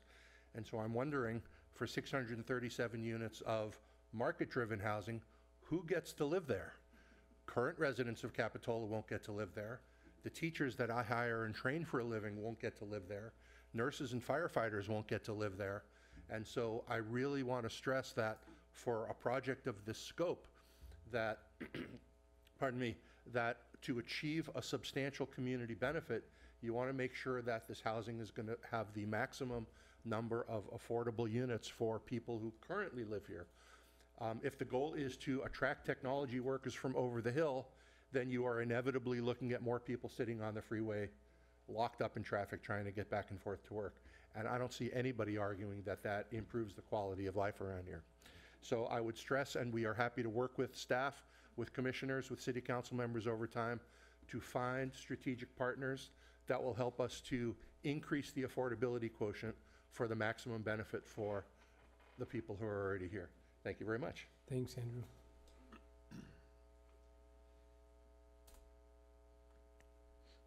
You can go ahead and step up. He's signing his name, great. Um, Hello, Chair Welch, members of the commission. My name is Ken Thomas. I'm a COPA leader with uh, Peace United Church in um, Santa Cruz. I'm also a long-term county resident. Um, As Andrew was saying, uh, COPA, how we work together in relationship is we share stories among our member institutions within the Monterey and Santa Cruz County area. And from those stories come up pressures on our families and our neighbors and our loved ones. And one of the stories that we hear over and over again is the lack of affordable housing. Um, and um, COPA is um, very much in favor of producing housing of all types throughout the county, but especially housing that would um, benefit those that are most vulnerable in our community. Um, with this project, I urge the city to um, and the public to uh, to to really work toward the production of low and very low income housing.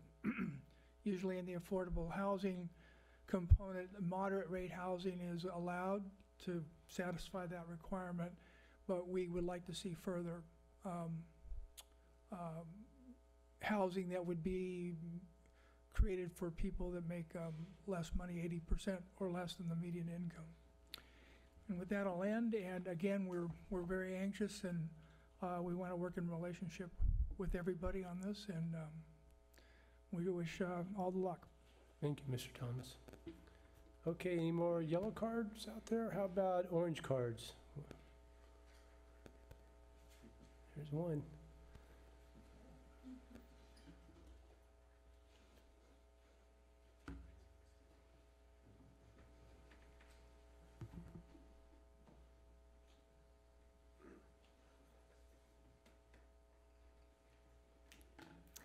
Hi, I'm Cherie McCoy, 21-year resident and homeowner here in Capitola. And I know the Planning Department's mission statement includes preserving the historical character, character of Capitola. The new library doesn't reflect the charming Six Sisters look or the iconic Mediterranean look of the Rispin Mansion and Venetian Hotel. The new Capitola Mall proposal is the typical formula of mixed-use tall building with a street through the middle. Merlone Geier, uh, they're very proud of their many successes where they have developed land in Los Angeles, Mountain View, and other cities where tall buildings and high-density housing are welcome. We do not have the infrastructure to accommodate 637 residential units and the 1,100 cars that come along with them. The proposal does not look like Capitola at all.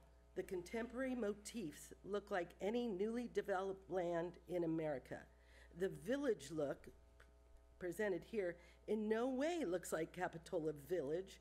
There's more streets, the grid, Main Street, Times Square, city look, urban downtown, major public streets.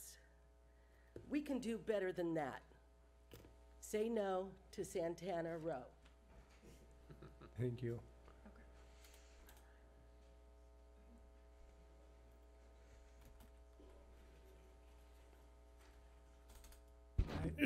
My name is Roy Johnson. Um, I'm a 40-year resident of uh, Capitola, almost 40 years. And I live right across the street from the mall. And I have watched, when I moved in, there were cows across the street. So I have seen the development of the Bums, uh, Branch and all of that. And so I look with great interest at this. I'm basically in favor of the whole project. I think that uh, any walk through the mall these days, uh, it's a lonely place and needs a little peppy energy. I like the idea of the road going through. Um, I think that's an excellent uh, uh, change-up. Um, and uh, the apartments on 30, Ca- I live right on Capitola Road, so literally I'm like right across the street. The, the uh, 38th and Capitola Road apartments, um, that is not a good look. That is way too much. Across the street are one-story little things, so that's a major bump. Uh, I'm not opposed to high buildings, but I think you can do a lot with architecture, and I don't see um, this look like a cut and paste uh, thing uh, for the architecture. And generally, I would say all of the architecture, uh, we need to hold, uh, hold them to a better standard. They, they are coming to us a little disadvantaged because they're mall developers, so that's what we're getting. And we have a community here that um, would like to see something very unique and very different. Um, I'm also the chairman of the uh, Arts Commission here in Capitola, and I would uh, encourage the developers to do their own project. Uh, Public art is not uh, putting uh, paintings on the walls, is a very specific guideline that um, uh, is in place. And we would love to meet with someone from the project to make sure that they understand that uh, public art is a very specific thing, that they're required on this project, and it's a fairly substantial amount of money with uh, what they're doing. Um, So I would encourage them to come to us with, uh, with their own project. Uh, We can do it uh, through the commission, but I'd love to see them come up with something. Um, And, uh, you know, the- the the 41st Avenue area in terms of Capitola has always been like the other, okay? Capitola is the village. 41st Avenue is like the other place, the, and um, we have a very unique opportunity right now uh, to uh, change that with this development, um, and specifically with the name of the development. Um, You know, we have the village, and we have an area, the upper village, where Gayle's is. And that kind of pulls the village, and it kind of pulls the upper village, it kind of makes it part of the community. Okay, I have heard nothing about this presentation that is pulling this project, connecting it to the community. It's still the other. Okay, but with a simple, uh, appropriate naming of the project, I think we could change that. Uh, West Village now becomes uh, the village, the upper village, the west village. Now it becomes one village, just with that one naming. It becomes part of that. Where are you gonna go shopping? I'm going, sho- I'm going shopping at the West Village. And you know you're going to Capitola? And you know where you're going in Capitola. And I would really encourage a further thought. Uh, we're kind of getting the mall developer name, and I would love it if, if we were thinking about Capitola and the village. Great, thank you, Mr. Johnson, and I, I'm sure that they'd be interested in working with our Art Cultural Commission to. uh, Yeah, we look forward to that. Okay, any more uh, people that like to share comments? Oh, there we go.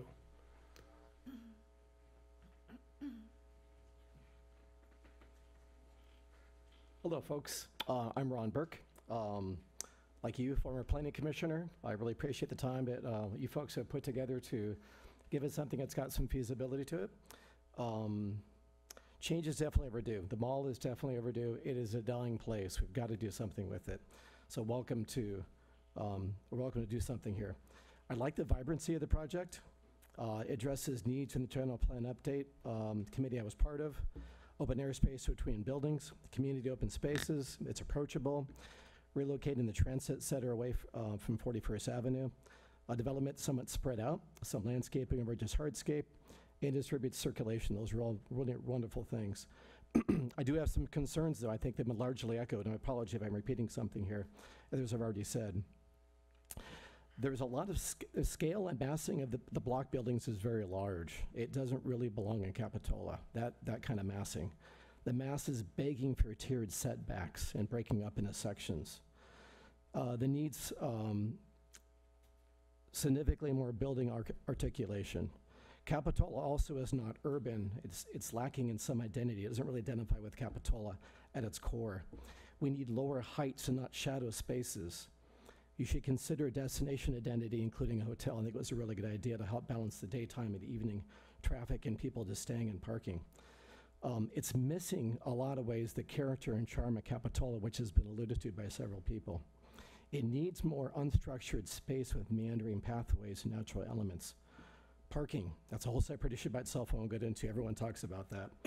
It's not an island. The circulation, ingress, and egress of the property from the surrounding area needs to be seriously considered.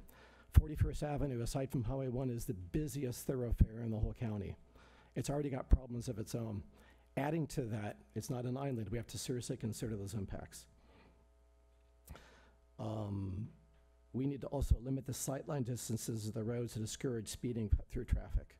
People will go through the community if they can to get someplace faster. And also, it might be a good idea to diversify some of the revenue-generating businesses for the city, including professional businesses, to balance again the evening and the daytime activities. Uh, incremental, costs to the city with excess housing. I think that's an incomplete thought there. Um, make sh- what I really want to make sure is that this one single project does not consolidate all of your RHNA numbers and affordability housing in just one location. Those need to be spread out throughout the city. So I hope and strive for the collective best for our city.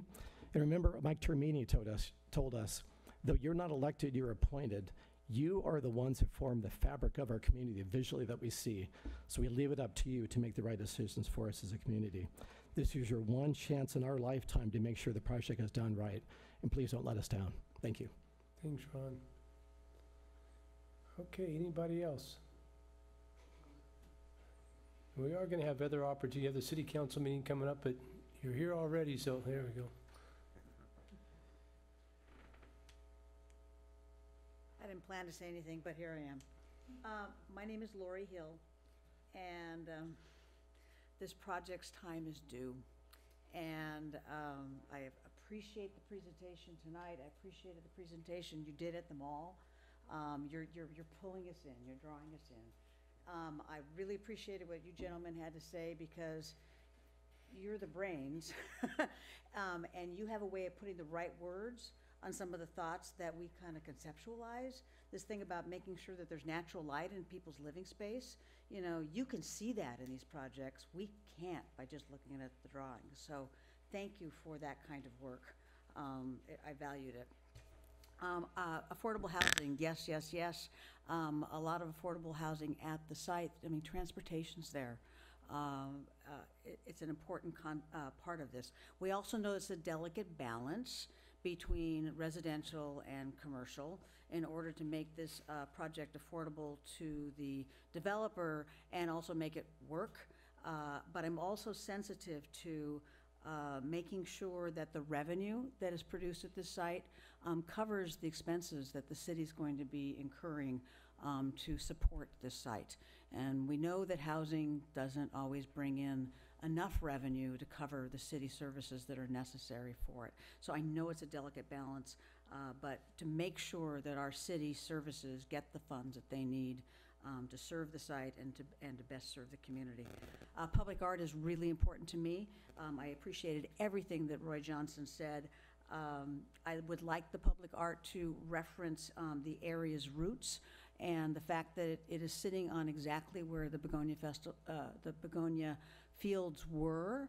uh, acres and acres of begonia blossoms. I would love to see some reference to that in, in the public art.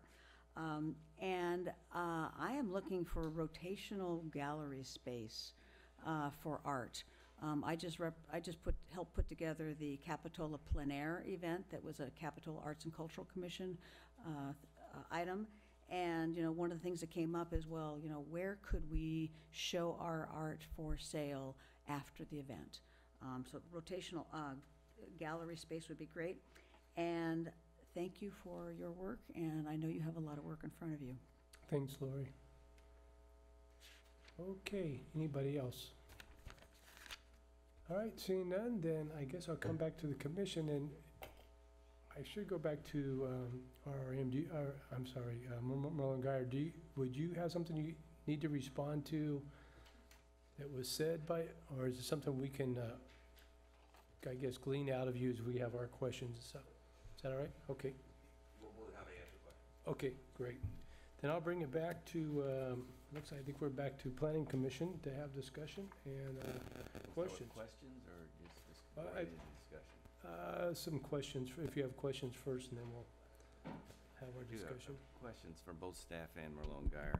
Um, The, I- I'm, I- I'm curious, for Merlone Geier, I guess, first question is, wh- where did you come up with the number of six hundred and thirty-seven units? Was that driven by something? I believe that's exactly 20 units per acre. That's the maximum number of housing units we're allowed to have on the site per the current zoning guidelines. So your goal was to put, uh, uh, your preference was to maximize the, the housing, you know, on the site? That was the goal we gave to our architects was, you know, we're allowed 20 units per acre here on site. That's what it's zoned for. Uh, Give us a shot on what we think that looks like on the site, and that was, that was a starting point. Um, did you have any, uh, questions or concerns about the, the Cosmont, uh, um, financial an- analysis, rebuttals, anything? Well, I, I think it's, I think it's early on to, um, and I, we've been working with Cosmont and, and we also have an economic analysis done as well. Um, it's just early on and type of retail is gonna drive that economic process as well, so, um, but we will work through that You with don't have a problem with their math or their assumptions or anything? We will work through their, their Okay. assumptions. Um, Did you, um, were you responsible for the uh, San Antonio Center in Mountain View? Was that your- one of your projects? That was me. So, yeah, so I, I- I'm glad because I took a trip up there to take a look at it, and I- I don't have some comments. I just want to make sure that was yours, so I I can It comment is, on yeah, we just right. completed phase two on that project. It was, that was a phased project from our acquisition in 2010 uh, through recent completion of phase two uh, just this year. So I talked to, I went in one of the apartment buildings and talked to staff there, and they were unaware of your name. They- they cur- Well, we recently sold the apartment complex to Brookfield, and so they Yeah. are the new owner, and they probably don't know my name. Well, I mean. Or Merlone Guy, Geier. I mean, right, it's a right. new, it's a new management company that's been there for less than a month. um, d- the, uh, um, the, the amount of parking that you have, the physical, uh, lots, i- is that appropriate? Is it excessive? Uh, is that, is there room to cut into that? Uh, It actually represents a significant reduction from the parking that's there today. Mhm. There's approximately five per thousand uh, parking ratio on the site today, as required by the, the REA, the agreement from all the major tenants on the site. We're proposing to reduce that uh, retail parking ratio down to four per thousand. And again, that's likely the minimum that uh, companies like Kohl's, Target, Ross, Macy's will accept as a parking ratio at the center. So we see it as a, as a great reduction. In addition, we're looking into a shared parking analysis that will look at not only um, the entertainment uses as well as regular retail uses and trying to uh, show, demonstrate, and as a part of the, the uh, environmental analysis, uh, how we can share parking on site. We, we think that four per thousand is, is a pretty good goal to get down to from five per thousand today. And, and again, we're trying to internalize a lot of that parking as well and disperse it throughout the site. The, the, because we're using some of the parking areas for housing and other entertainment uses and other major tenant uses, um, we're trying to, we're trying to, uh, create the parking field that's out in front on 41st where it exists today.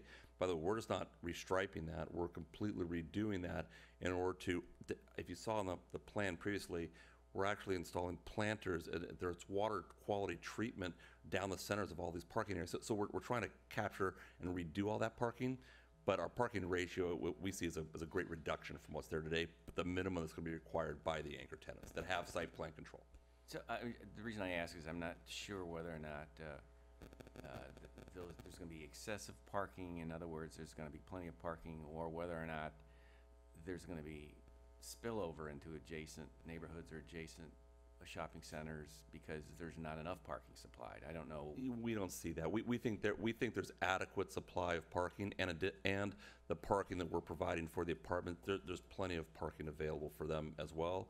Um, if there's, if there's a need for we, additional weekend parking, we find that those residents tend to fill up the surface park, not fill up, but use some of the excess parking that's around the site. Um, but we don't think there's any spillover concern whatsoever. Thank you, and I- and I just have one question for RM, RRM. Uh, y- You're, so, I uh, am dangerous, because I have one, one lousy textbook that I read, and it seems like your, your uh, recommendations, like, match up pretty well with what's in here. Even though this was written in 1961, I guess it's still appropriate. My, one of the questions that struck me as odd, though, was your block length concern. Because when I read the block length section of this, it seemed to be more of a concern of um, the evolution, you know, you, you want to be able to have not dead zones and have, it, really had more of a New York, yeah, how is this gonna, city gonna evolve? And I didn't think that applied to this approach. Is, is that, could you talk a little bit more about block length? Uh, certainly, I- I'll, I'll do my best, and I'm a huge Jane Jacobs fan, so um, I, I, it's a great read. It's, um, I think, still very pertinent to any urban fabric in, in any city today. Um, uh, the the block length is about the pedestrian experience, and that that's ultimately um, you can look at a number of, of developments and and the the city um, geometry and te- say, hey, 600 might work. And, and in places it could, depending on what the experience along that 600 feet is. Um, our, I think where we saw concern, especially along 38th, where it's a primarily residential environment, there's not a lot of engagement for the pedestrian beyond a leasing office and some, some vehicular circulation. So it's, um, it's not a very pedestrian friendly environment and, that's that's the ultimate goal. I think there's some great strides that the applicant is doing to take what is would be defined as a super block anywhere else as the mall and look for ways to start to slice and dice that already. I think there may be even further opportunities for that to make sure the pedestrian um, is engaged along the way I, I hope that addressed your No, yeah, that, that does, thank you. Um, I think those are all the- my questions. Okay, any questions for either RRM or Merlone Geier? Way to go. Simple. On the, on the theater being the focus of the central part of the town square, uh, you know, we read about theaters just are really having a difficult time in this day and age. What do you propose if the theater doesn't make it? If it's not a viable business that continues to operate there? We've seen a great change in theater operations over the last 20 years, and we've been doing this for, with Merlone Geier for the last 20 years. And we've seen a great resurgence in the theater and how they, they do their marketing and what they, the experience that they provide. And the, uh, the bigger chairs, the fewer people per audience, the reserved seating, the amenities they provide in terms of sound systems, just the different type of environment they're providing has led to a resurgence in theaters and they're having great success these days. In fact, we're finding theaters are, are um, wanting to be as a, the center point of most of our redevelopment projects, and they're successful doing that. Uh, but they're just one component. By having that entertainment feature offered at the center, we're seeing a resurgence of nighttime and weekend activity that then also help to support the restaurants that also want to be at the site. These restaurants want to be where these entertainment venues are, and so they build on each other. And now it becomes now it becomes a place to be. And that's for entertainment and for dining and for activity. So we're seeing these these theaters these days really be uh, the driver of a different component. Retail's changing, and so we see less of the large format retailers and more of an experience-driven.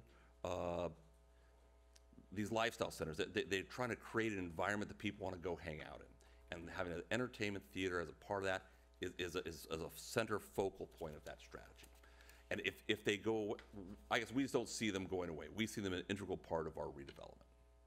So obviously, you don't know what your tenants will be right now, but to include family-oriented type entertainment, s- whatever that may be, I know you have the dog park, and, but what, what else do you propose in there? What, k- what kind of commercial structures will you have that can accommodate those kinds of things? we're just now beginning to scratch the surface of, of the leasing uh, activity because we have the Target, the Macy's, the Kohl's, and we will have a theater. There is strong tenant demand from the soft goods retailers, the type of tenants that would be in this kind of a redevelopment, as well as uh, the, the smaller shop, the local uh, mom and pop type tenants that are also drawn to these. We have a lot of opportunities for smaller local businesses to be a part of our center as well, local restaurants, but also national tenants uh, to create a really good balance uh, in here. Um, so, so we don't have any tenant names today that are coming that we can announce. So and so is coming. We, we don't have any. We, we just we don't. But that that will be our next process. As soon as we really finalize where the buildings are going to be, where their frontages are, what signage they have, um, th- then we'll start. And by the way, this is all conceptual. I mean, the idea is that we'll have a tenant. Gee, I need, you know, I need a bigger space. I need a smaller space, but we really want them there.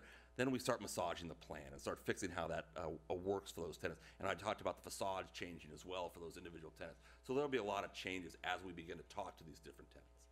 On the main street, it doesn't appear that the area is wide enough to accommodate like outdoor restaurants, things of that nature. Is it- I mean, So it's the hard to sca- tell from the. Yeah, the scale's hard, right? Because we're looking at something, and so we see something on a screen, but uh, what we have are areas that are, you know, thousands of square feet. The the sidewalks have been designed not only with extra space on the corners and where we anticipate having restaurants and all these plazas, we've actually designed, if we can blow up into those landscape plans, and I think you have blow-ups in your set too, you can see where we're identifying outdoor eating areas specifically built into the landscape design to accommodate those outdoor eating areas. At one of the corners of the main street, we actually cut into the building to create more kind of a covered but yet outdoor dining area. So we're, we're really focused on, on creating those, where's the right place for the restaurant to be, and then creating the outdoor dining around it, but still plenty of space for people to circulate on the, the landscape or the, the hardscape around those dining areas. I- I- integral part is the outdoor dining experience. Are parking garages resident only? No, they're shared. Uh, we're working on the, the amount of sharing, but the idea is that the ground floor and potentially even the second floor would be for uh, the retail tenants, and then the, the, the area above, or again, depending on um, how we structure the, the, the residents, or who the residence is, is it senior, or is it uh, whatever, to where maybe there's even less of a parking demand, we can work on shared uh, parking agreements with the residential as well. Shared, they're shared. What's the phasing? Wish I knew. The, the, I've got it. we've got a general idea that, that the Target, the Kohl's, the Macy's, they stay open during the redevelopment as well as the perimeter, the Ross, the, the parts that are not owned. We, the, the residential over the retail component, that has to, that's the longer build. That's probably what he talked about, that's the twenty-four to thirty month construction. It just takes longer, and so, and that construction has to get done before we can open the ground floor retail tenants. So that's the longer part, phase one, and then extending to phase two. Phase one, we can see actually doing the demo and building that main street early, or at least the theater component of it, the pads out on the street, and the area in front of Macy's and, and Target potentially. We, those are single-story wood frame buildings. Those can go pretty quickly, as well as the redevelopment of the, of the parking areas around there and the relocation of Metro. So that's kind of the phase, big phase one, and phase two is the continuation of the residential. Then there's a second phase residential up against the target there. That would be the third phase residential, and that's really market-driven demand when, when that comes online. We can't bring that many housing units on the line at one time, so that's got to be phased. But the first phase of the residential will be the one with a retail tenants facing 41st. Okay, thanks. Courtney? Um, I think, a, a first of all, I really enjoyed reading all the feedback you guys had for the whole development. It was, I agreed with almost every point, and I really enjoyed your package as well.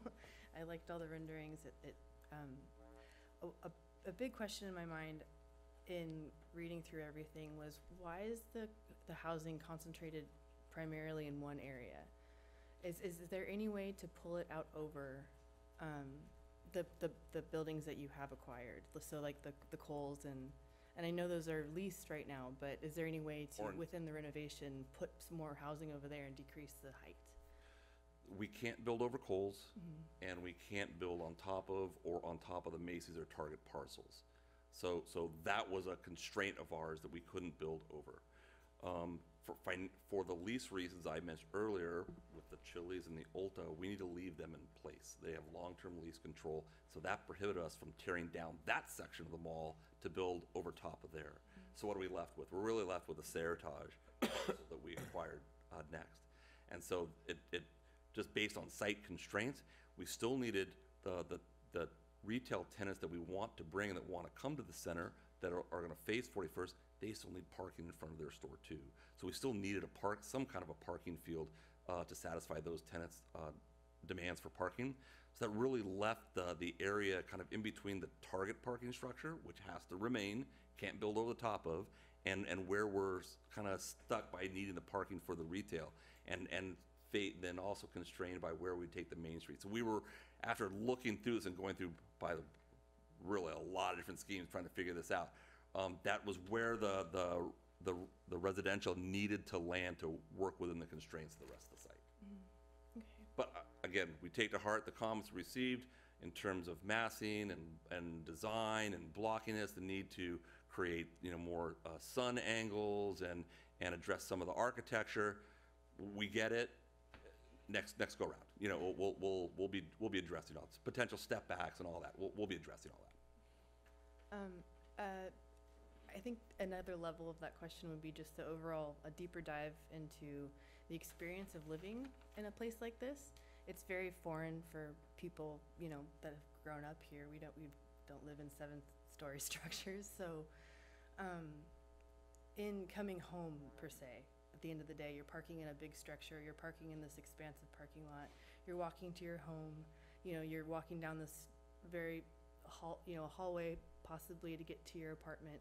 I'm, I'm curious as to, you know, I think you guys mentioned it in your review, um, the lack of outdoor space, the lack of engagement with the outside world, you know, just in, in really developing that as the living experience of actually participating as an inhabitant in this structure. So, so that's certainly something we look at and try to design for. The way these parking structure are designed is that your, typically your parking space is on your level. If I'm on the fourth level, my parking stall is on the fourth level. So I drive up to that level and I'm not walking through a hallway, I'm just walking straight into my, my unit that faces out. So the idea of the- having this wrap product with this parking structure hidden from everyone else, uh, that allows easy access for that pedestrian. If I'm grocery shopping, I show up with my bags, I walk out on my level, straight into my apartment that is now facing outdoors. And so plenty of sunlight. Yeah, there's probably a few units that need some work, but those are few and far between. The majority of them are, you know, brightly lit. The idea that people then, they don't have to take care of a yard, but these, these apartments are highly amenitized. Not only are they amenitized with, with, uh, there's barbecue areas and fitness areas and, and other pools and, you know, the residential B has a rooftop, uh, a rooftop deck on top of the parking structure with a pool areas and cabanas with ocean views out, you know, so it's outdoor space. The other area has a courtyard carved out facing 41st with outdoor barbecues and a pool, and, and so these are amenitized areas. In addition to that, hey, I don't have to get my car to go to the store or to work out or to get a cup of coffee or to take my drive. I walk out my front door and I'm, I take the elevator down to the ground floor. I'm there. It's right there. Or if I want to walk my dog or a dog park or a restaurant, it's all right here. So those are the highly amenitized areas that draw people to these type of units, and they're, they're very successful. And, and they're not for everybody. There's a lot of people that would rather live in a single-story house with a nice yard and a garden. Other people don't want any part of that. They want someone to take care of all that for them. They want the amenities, and they want, they want this kind of living. And so it's, it's different. It's different for some of us older folks that, you know, gee, I can't imagine living there. But the amenities make up for the loss of having a yard. Yeah. Um, I, is there any potential to utilize the height that you guys are trying to achieve, the seven stories, in some type of arch- arch- architectural fashion to where it would be not so just stacked up and down? And I think that was addressed in your review as well, but. It's, just- it's a massing exercise. Yeah. And how can you step and create pushbacks and planes and separate levels and step backs from streets and, yes, you can do that, and yes, we will be looking at that. Okay. So, Um, let's see, uh, um, as far as charging stations for vehicles, I think it- you touched on that with, We didn't even scratch the surface on all of the sustainability features going into, from low impact development to utilizing solar and recharging stations. You know, there's the California Green Initiative that, you know, there's standards that are built in for not only bike lockers and bike parking and locked areas, but also then, you know, uh, shower facilities for the people that are biking there and around and, and all the other, you know, the, the LEED equivalent that is the green building standards, all those get built into the project um, in terms of stormwater treatment and, and permeability of services and all, all of that gets built in. That, that's a, we'll be taking a deep dive with staff uh, on all of that to make sure that we're, that we're hitting all of the marks with that. But it's, it's a, it's a big part of what not only the public expects, but our residents expect and that we provide.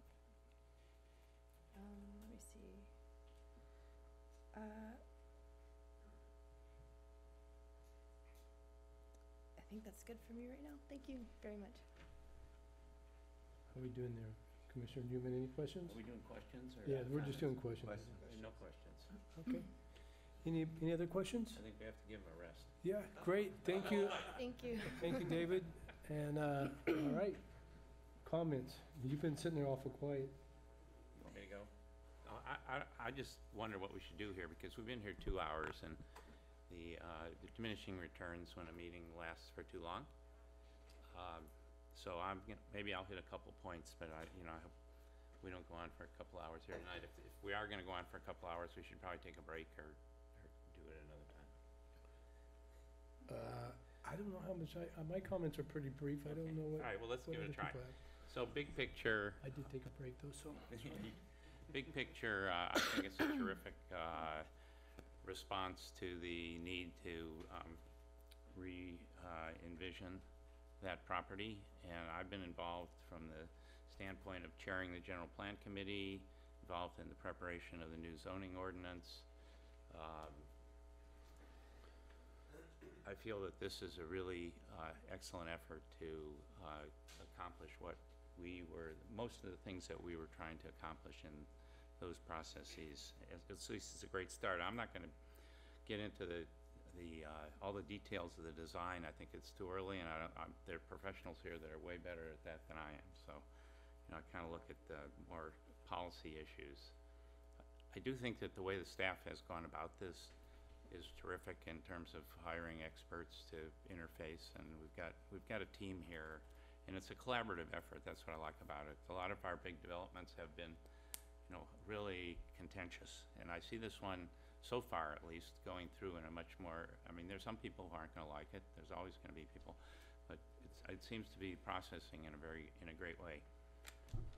Um, I have issues with the name, and, uh, as did Roy. Um, first of all, Capitola is never referred to as a town. Los Gatos is a town, I think maybe, um, Los Altos might be a town, but we're a village. We never use the word town, so to, to suddenly have a town square doesn't make, doesn't work for me.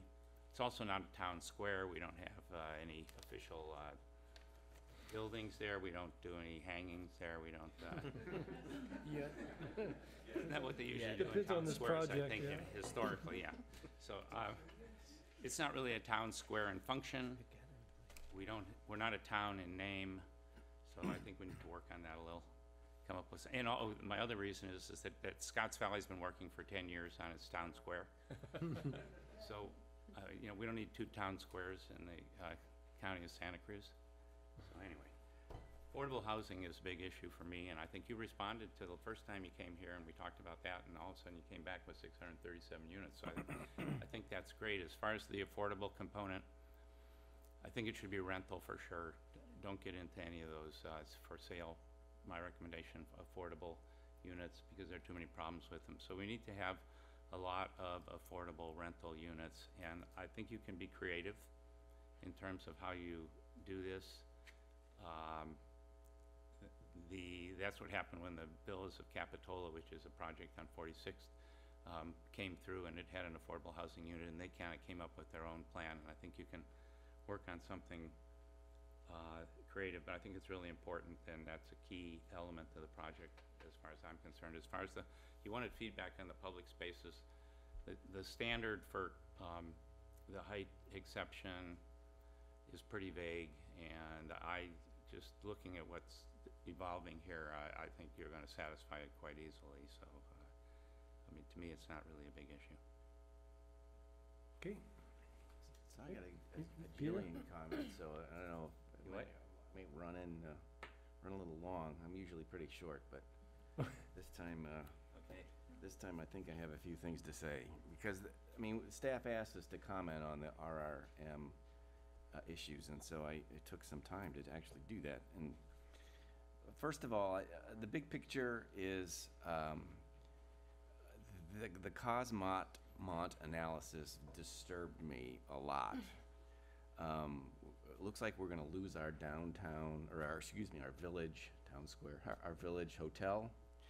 Uh, Swenson seems to be backing off on that now. So our, uh, opportunities for fiscal, um, solvency are becoming more concerning. So when I look at this mall, I say, wow, okay, here's our opportunity to get healthy. And then the, the analysis says, no, no, no, you, this could be a seventy-five K a year loss. And so I just assume we redistrict this agricultural and turn it back into begonia fields. If that's the, if that's the answer. And so, before I would want to go for this, I'm, sh- and I'm, you mentioned you're working with, uh, with, with that and you're gonna try to figure all this out. But, you know, I would want to know that the city council has already created this area as a community facilities district so that, you know, we are in fact making a lot of money on this. You've got the hotel, we know it's going to be a successful one because that'll get us a lo- a lot of TOT. Um, or the analysis says it's it's, it's largely related to the size. And so, you know, you go from 637 units to 437 units or some other number that says, okay, now this project gives us a lot of, you know, a lot of income. Uh, And to me, that's the big issue. Um, with regards to my overall impression of this, I was, I was also concerned with the concentrated population there and the sudden twelve percent increase in our population, and all the unknown issues that could, um, that could create, um, just by that sudden change in our, in our population. Um, I, um, I know you went to a trouble of creating a, a, try to create a, a smaller community, a, a, a visual, uh, uh, area that's very pedestrian friendly and whatnot. I'm a little concerned, some of the comments, I think, rung true, that this is, uh, uh, it kind of faces inward, that it's all on this town square way, that Capitola Road is kind of like shouldered out perhaps, and that, uh, there's not a lot of, uh, uh, a lot of reaching out to the surrounding areas. Uh, I, I, I- agree with that comment.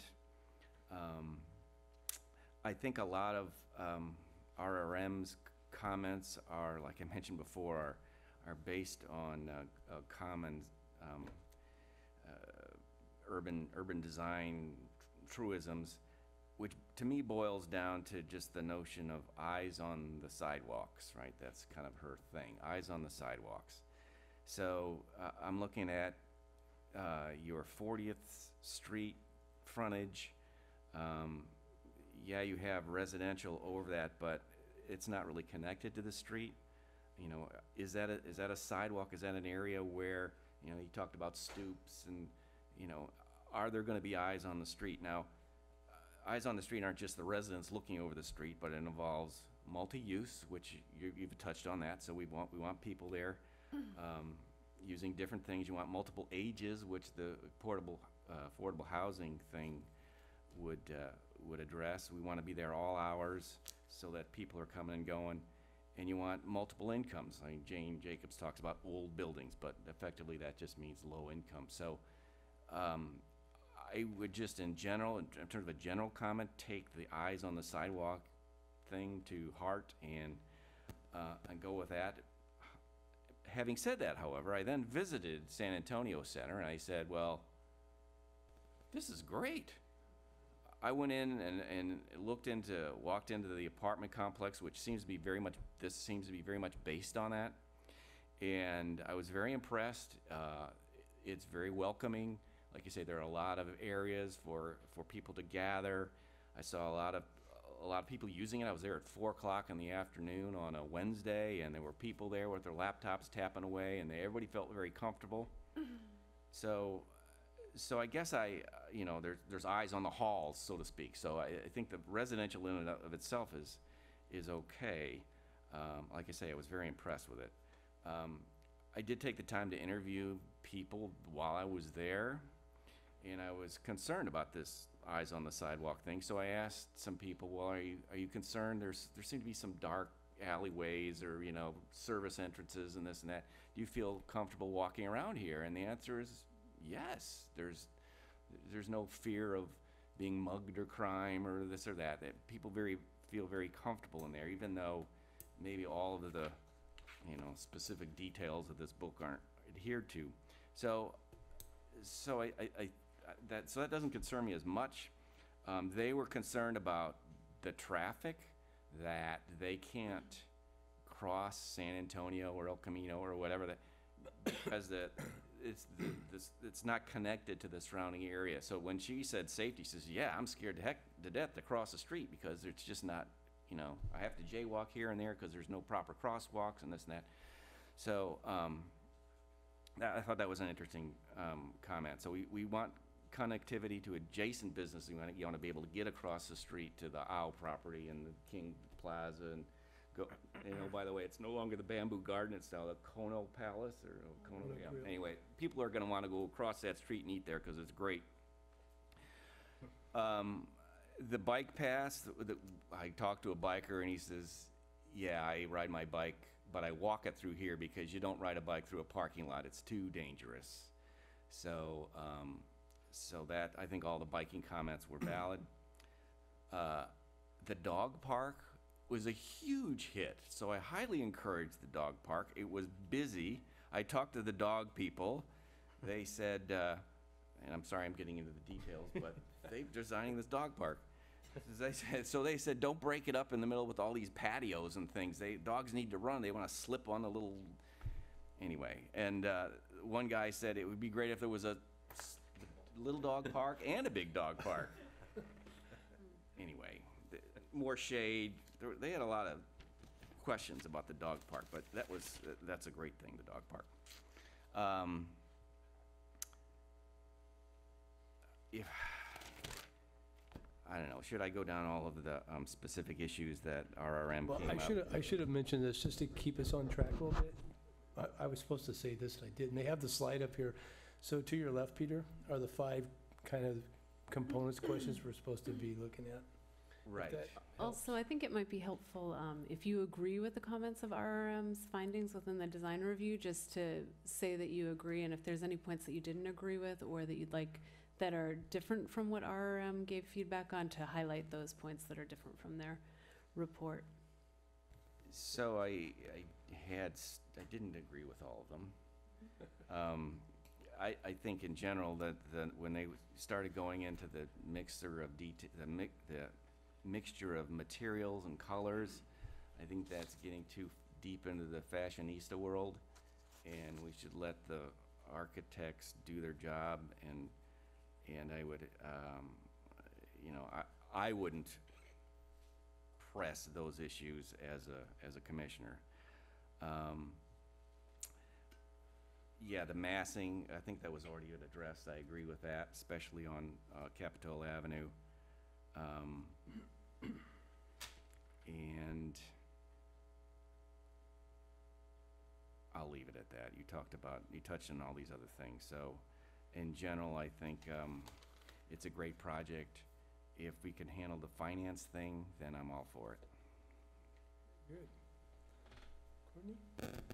Um, I've, I agree with the, with the review that RRM has presented. I think I would like to see, um, in addition, uh, a consideration of a hotel, um, more circulation path for outside use, just between shopping centers, adjacent shopping centers, adjacent, um, neighborhoods. Um, also, lost my place, let's see.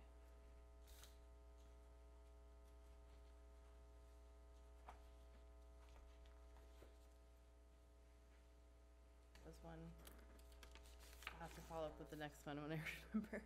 But, um, but yeah, I, I do agree with most points that RM brought up. You can always jump back. Thank you.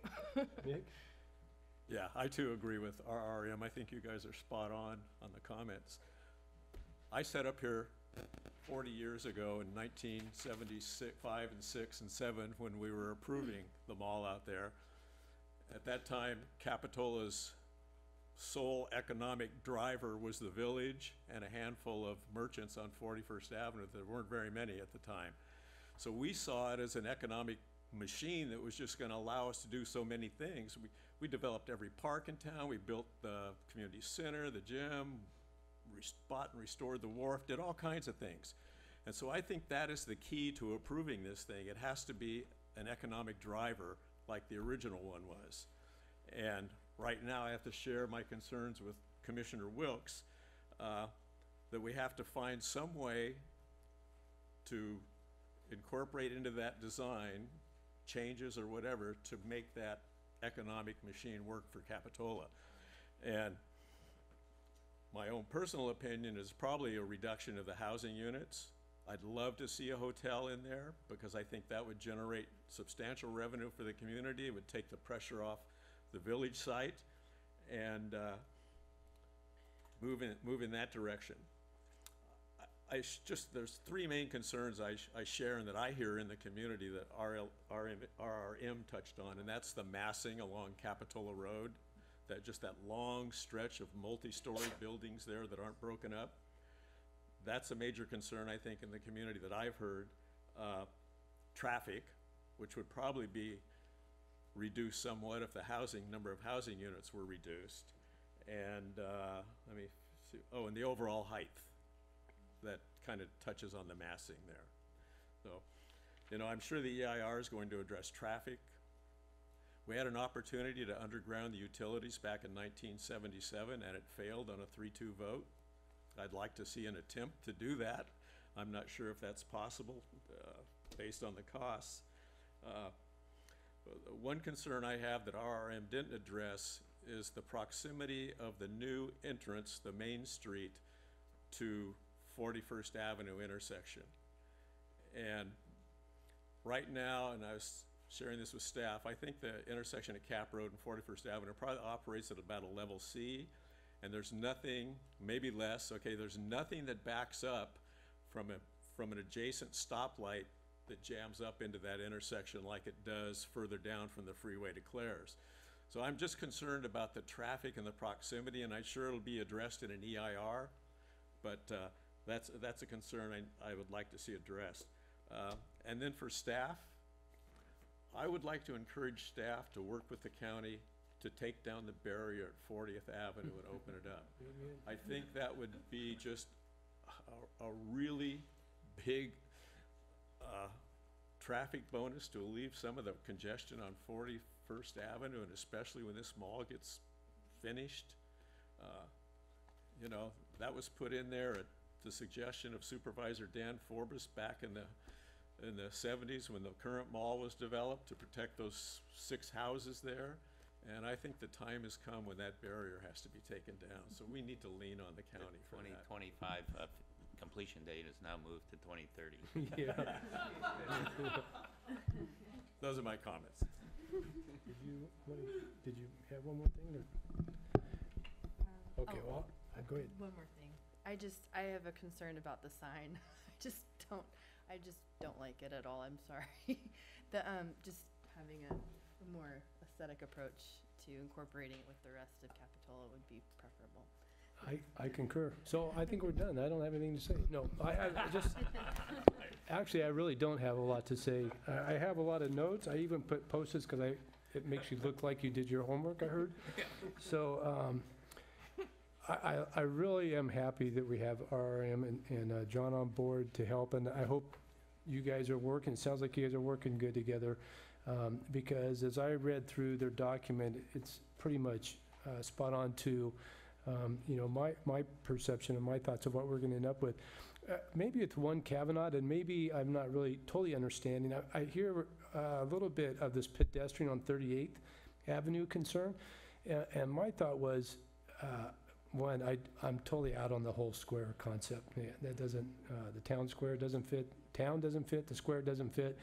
And, uh, and I really don't think we need open spaces so much, like, uh, you know, we looked at the Paso Robles and those, because I think we'll end up more like Santa Cruz, and we don't want to look like Santa Cruz, where we have place to sleep during the day and, and, uh, you know, go to Starbucks and stuff. So, but I, what I really think we do need is more of a, uh, opportunity that, uh, to maybe close 38th at the tunnel and, uh, and all the way up to Town Square, whatever you're calling that road now, we'll, we'll think of Village Road, whatever that's gonna be.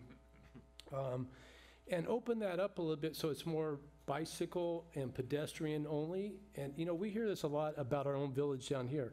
Close off the Esplanade, make it only pedestrians. Um, This is a great opportunity to do that, and, and um, I won't get into the architecture, my wife won't even let me pick paint colors for my own garage. So I think there's some really good people that can help you do that. We have some people here that can help you do that. That's out of my league, but as, as we traveled around, my wife and I, we went to different shopping centers, knowing this was coming up, we've kind of looked around, and, and a couple of places that we experienced that we really enjoyed was this restaurant um, area that was open with a, like an open area that had a theme, uh, a water fountain, water park.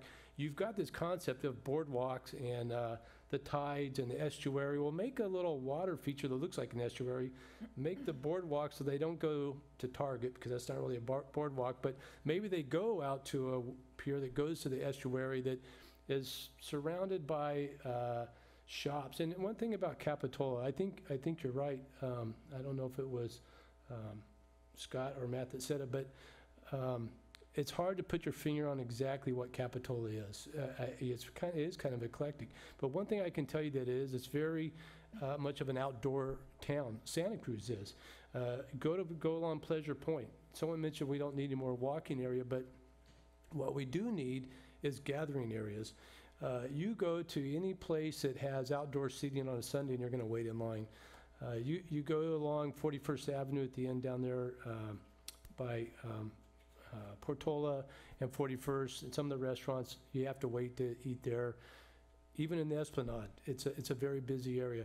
Let's make uh, this, uh, what do they call it, West Village area? Let's make the West Village area an area that uh, you're going to go to uh, the theater, but you have an outside seating, restaurants, a whole area that you can hang out together and uh, maybe get out of the weather if you- you need to. But we have pretty uh, average weather around here that allows us to be outside um, most of the time. So for me, I'd rather, I would, I don't think we need all those roads crossing through. This, this is just me thinking, but more of an area that allows uh, some thoroughfare. I, I understand having the village road that goes to Clares from 41st, but maybe the one at 38th ends. And uh, on the public benefit side, and I'm glad someone brought this up, the bicycle, because someday, I hope, before uh, I'm gone, we have this rail trail in, and it'd be great if the rail trail came right up 38th Avenue, right into that bicycle pedestrian corridor to go to Starbucks or whatever's gonna be in there. Um, So really, I think that's all I had to say. I think everybody else kind of has, has, uh, I have a lot of notes here, but my neighbor commissioner over here to the right of me is gonna keep me on, on track here. We were looking Uh, at your notes. Yeah, the materials and colors, I, I, I don't have anything to say. RRM done a good job there. I think the massing is, was a concern. I don't have a concern about the height, as long as you can articulate the buildings. Um, I think, you know, I noticed that the, uh, the open area that you do have is in front of Macy's, which on one hand, I like it because the sun can get in there and people like the sun. Uh, The downside for me is, that's also where the transit area is, and I don't know uh, about having it, how you mix that, but I'll let you guys figure that out. Santana Row, I don't think we need a Santana Row. I really don't. I mean, we, we came, we talked, about that for years in Capitola. We're gonna have the Santana Row concept. Restaurants along the street where cars are parking and driving, um, it doesn't appeal to me as much as having that open area that's closed off with a central theme and the waterway in the middle or something like that is more appealing to me. So with that, I'll end my talks and my wife will tell me what I missed later, what she wanted me to say, so. Any other comments or questions? No? Um, The next meeting is uh, with the city council Next Thursday. this following Thursday. So you have, uh, for those of you in the audience, have more time to get your information together and go talk to the city council. And uh, we look forward to uh, working with you folks in the fu- future. So with that, uh, I guess, do we need to do a director's report? Do you have anything? Um, no director's Can I report, just just that, interrupt just for a second? Oh, Because I- yes. of I course. wanted to make a point to thank Merlone Geier for going through all this trouble, and I, I know this is a, this is a, a, a- a difficult process. You've done it before, I'm sure, but, um, many times, but I, I wanna, I, I just personally appreciate your going through all this and, and working with us. Thank you very much. Okay. Uh, Commissioner comments? I will not be at the special meeting later this month. That, Uh, um, We canceled that meeting, right? yes, officially So you're been not gonna miss anything? Oh, you canceled it? Mhm. I didn't cancel it, somebody did. I, I didn't Yeah, see we that canceled notice. it. We'll send out an official notice. okay. All right, Be there anyway. with that, the meeting's adjourned. Thank you very much.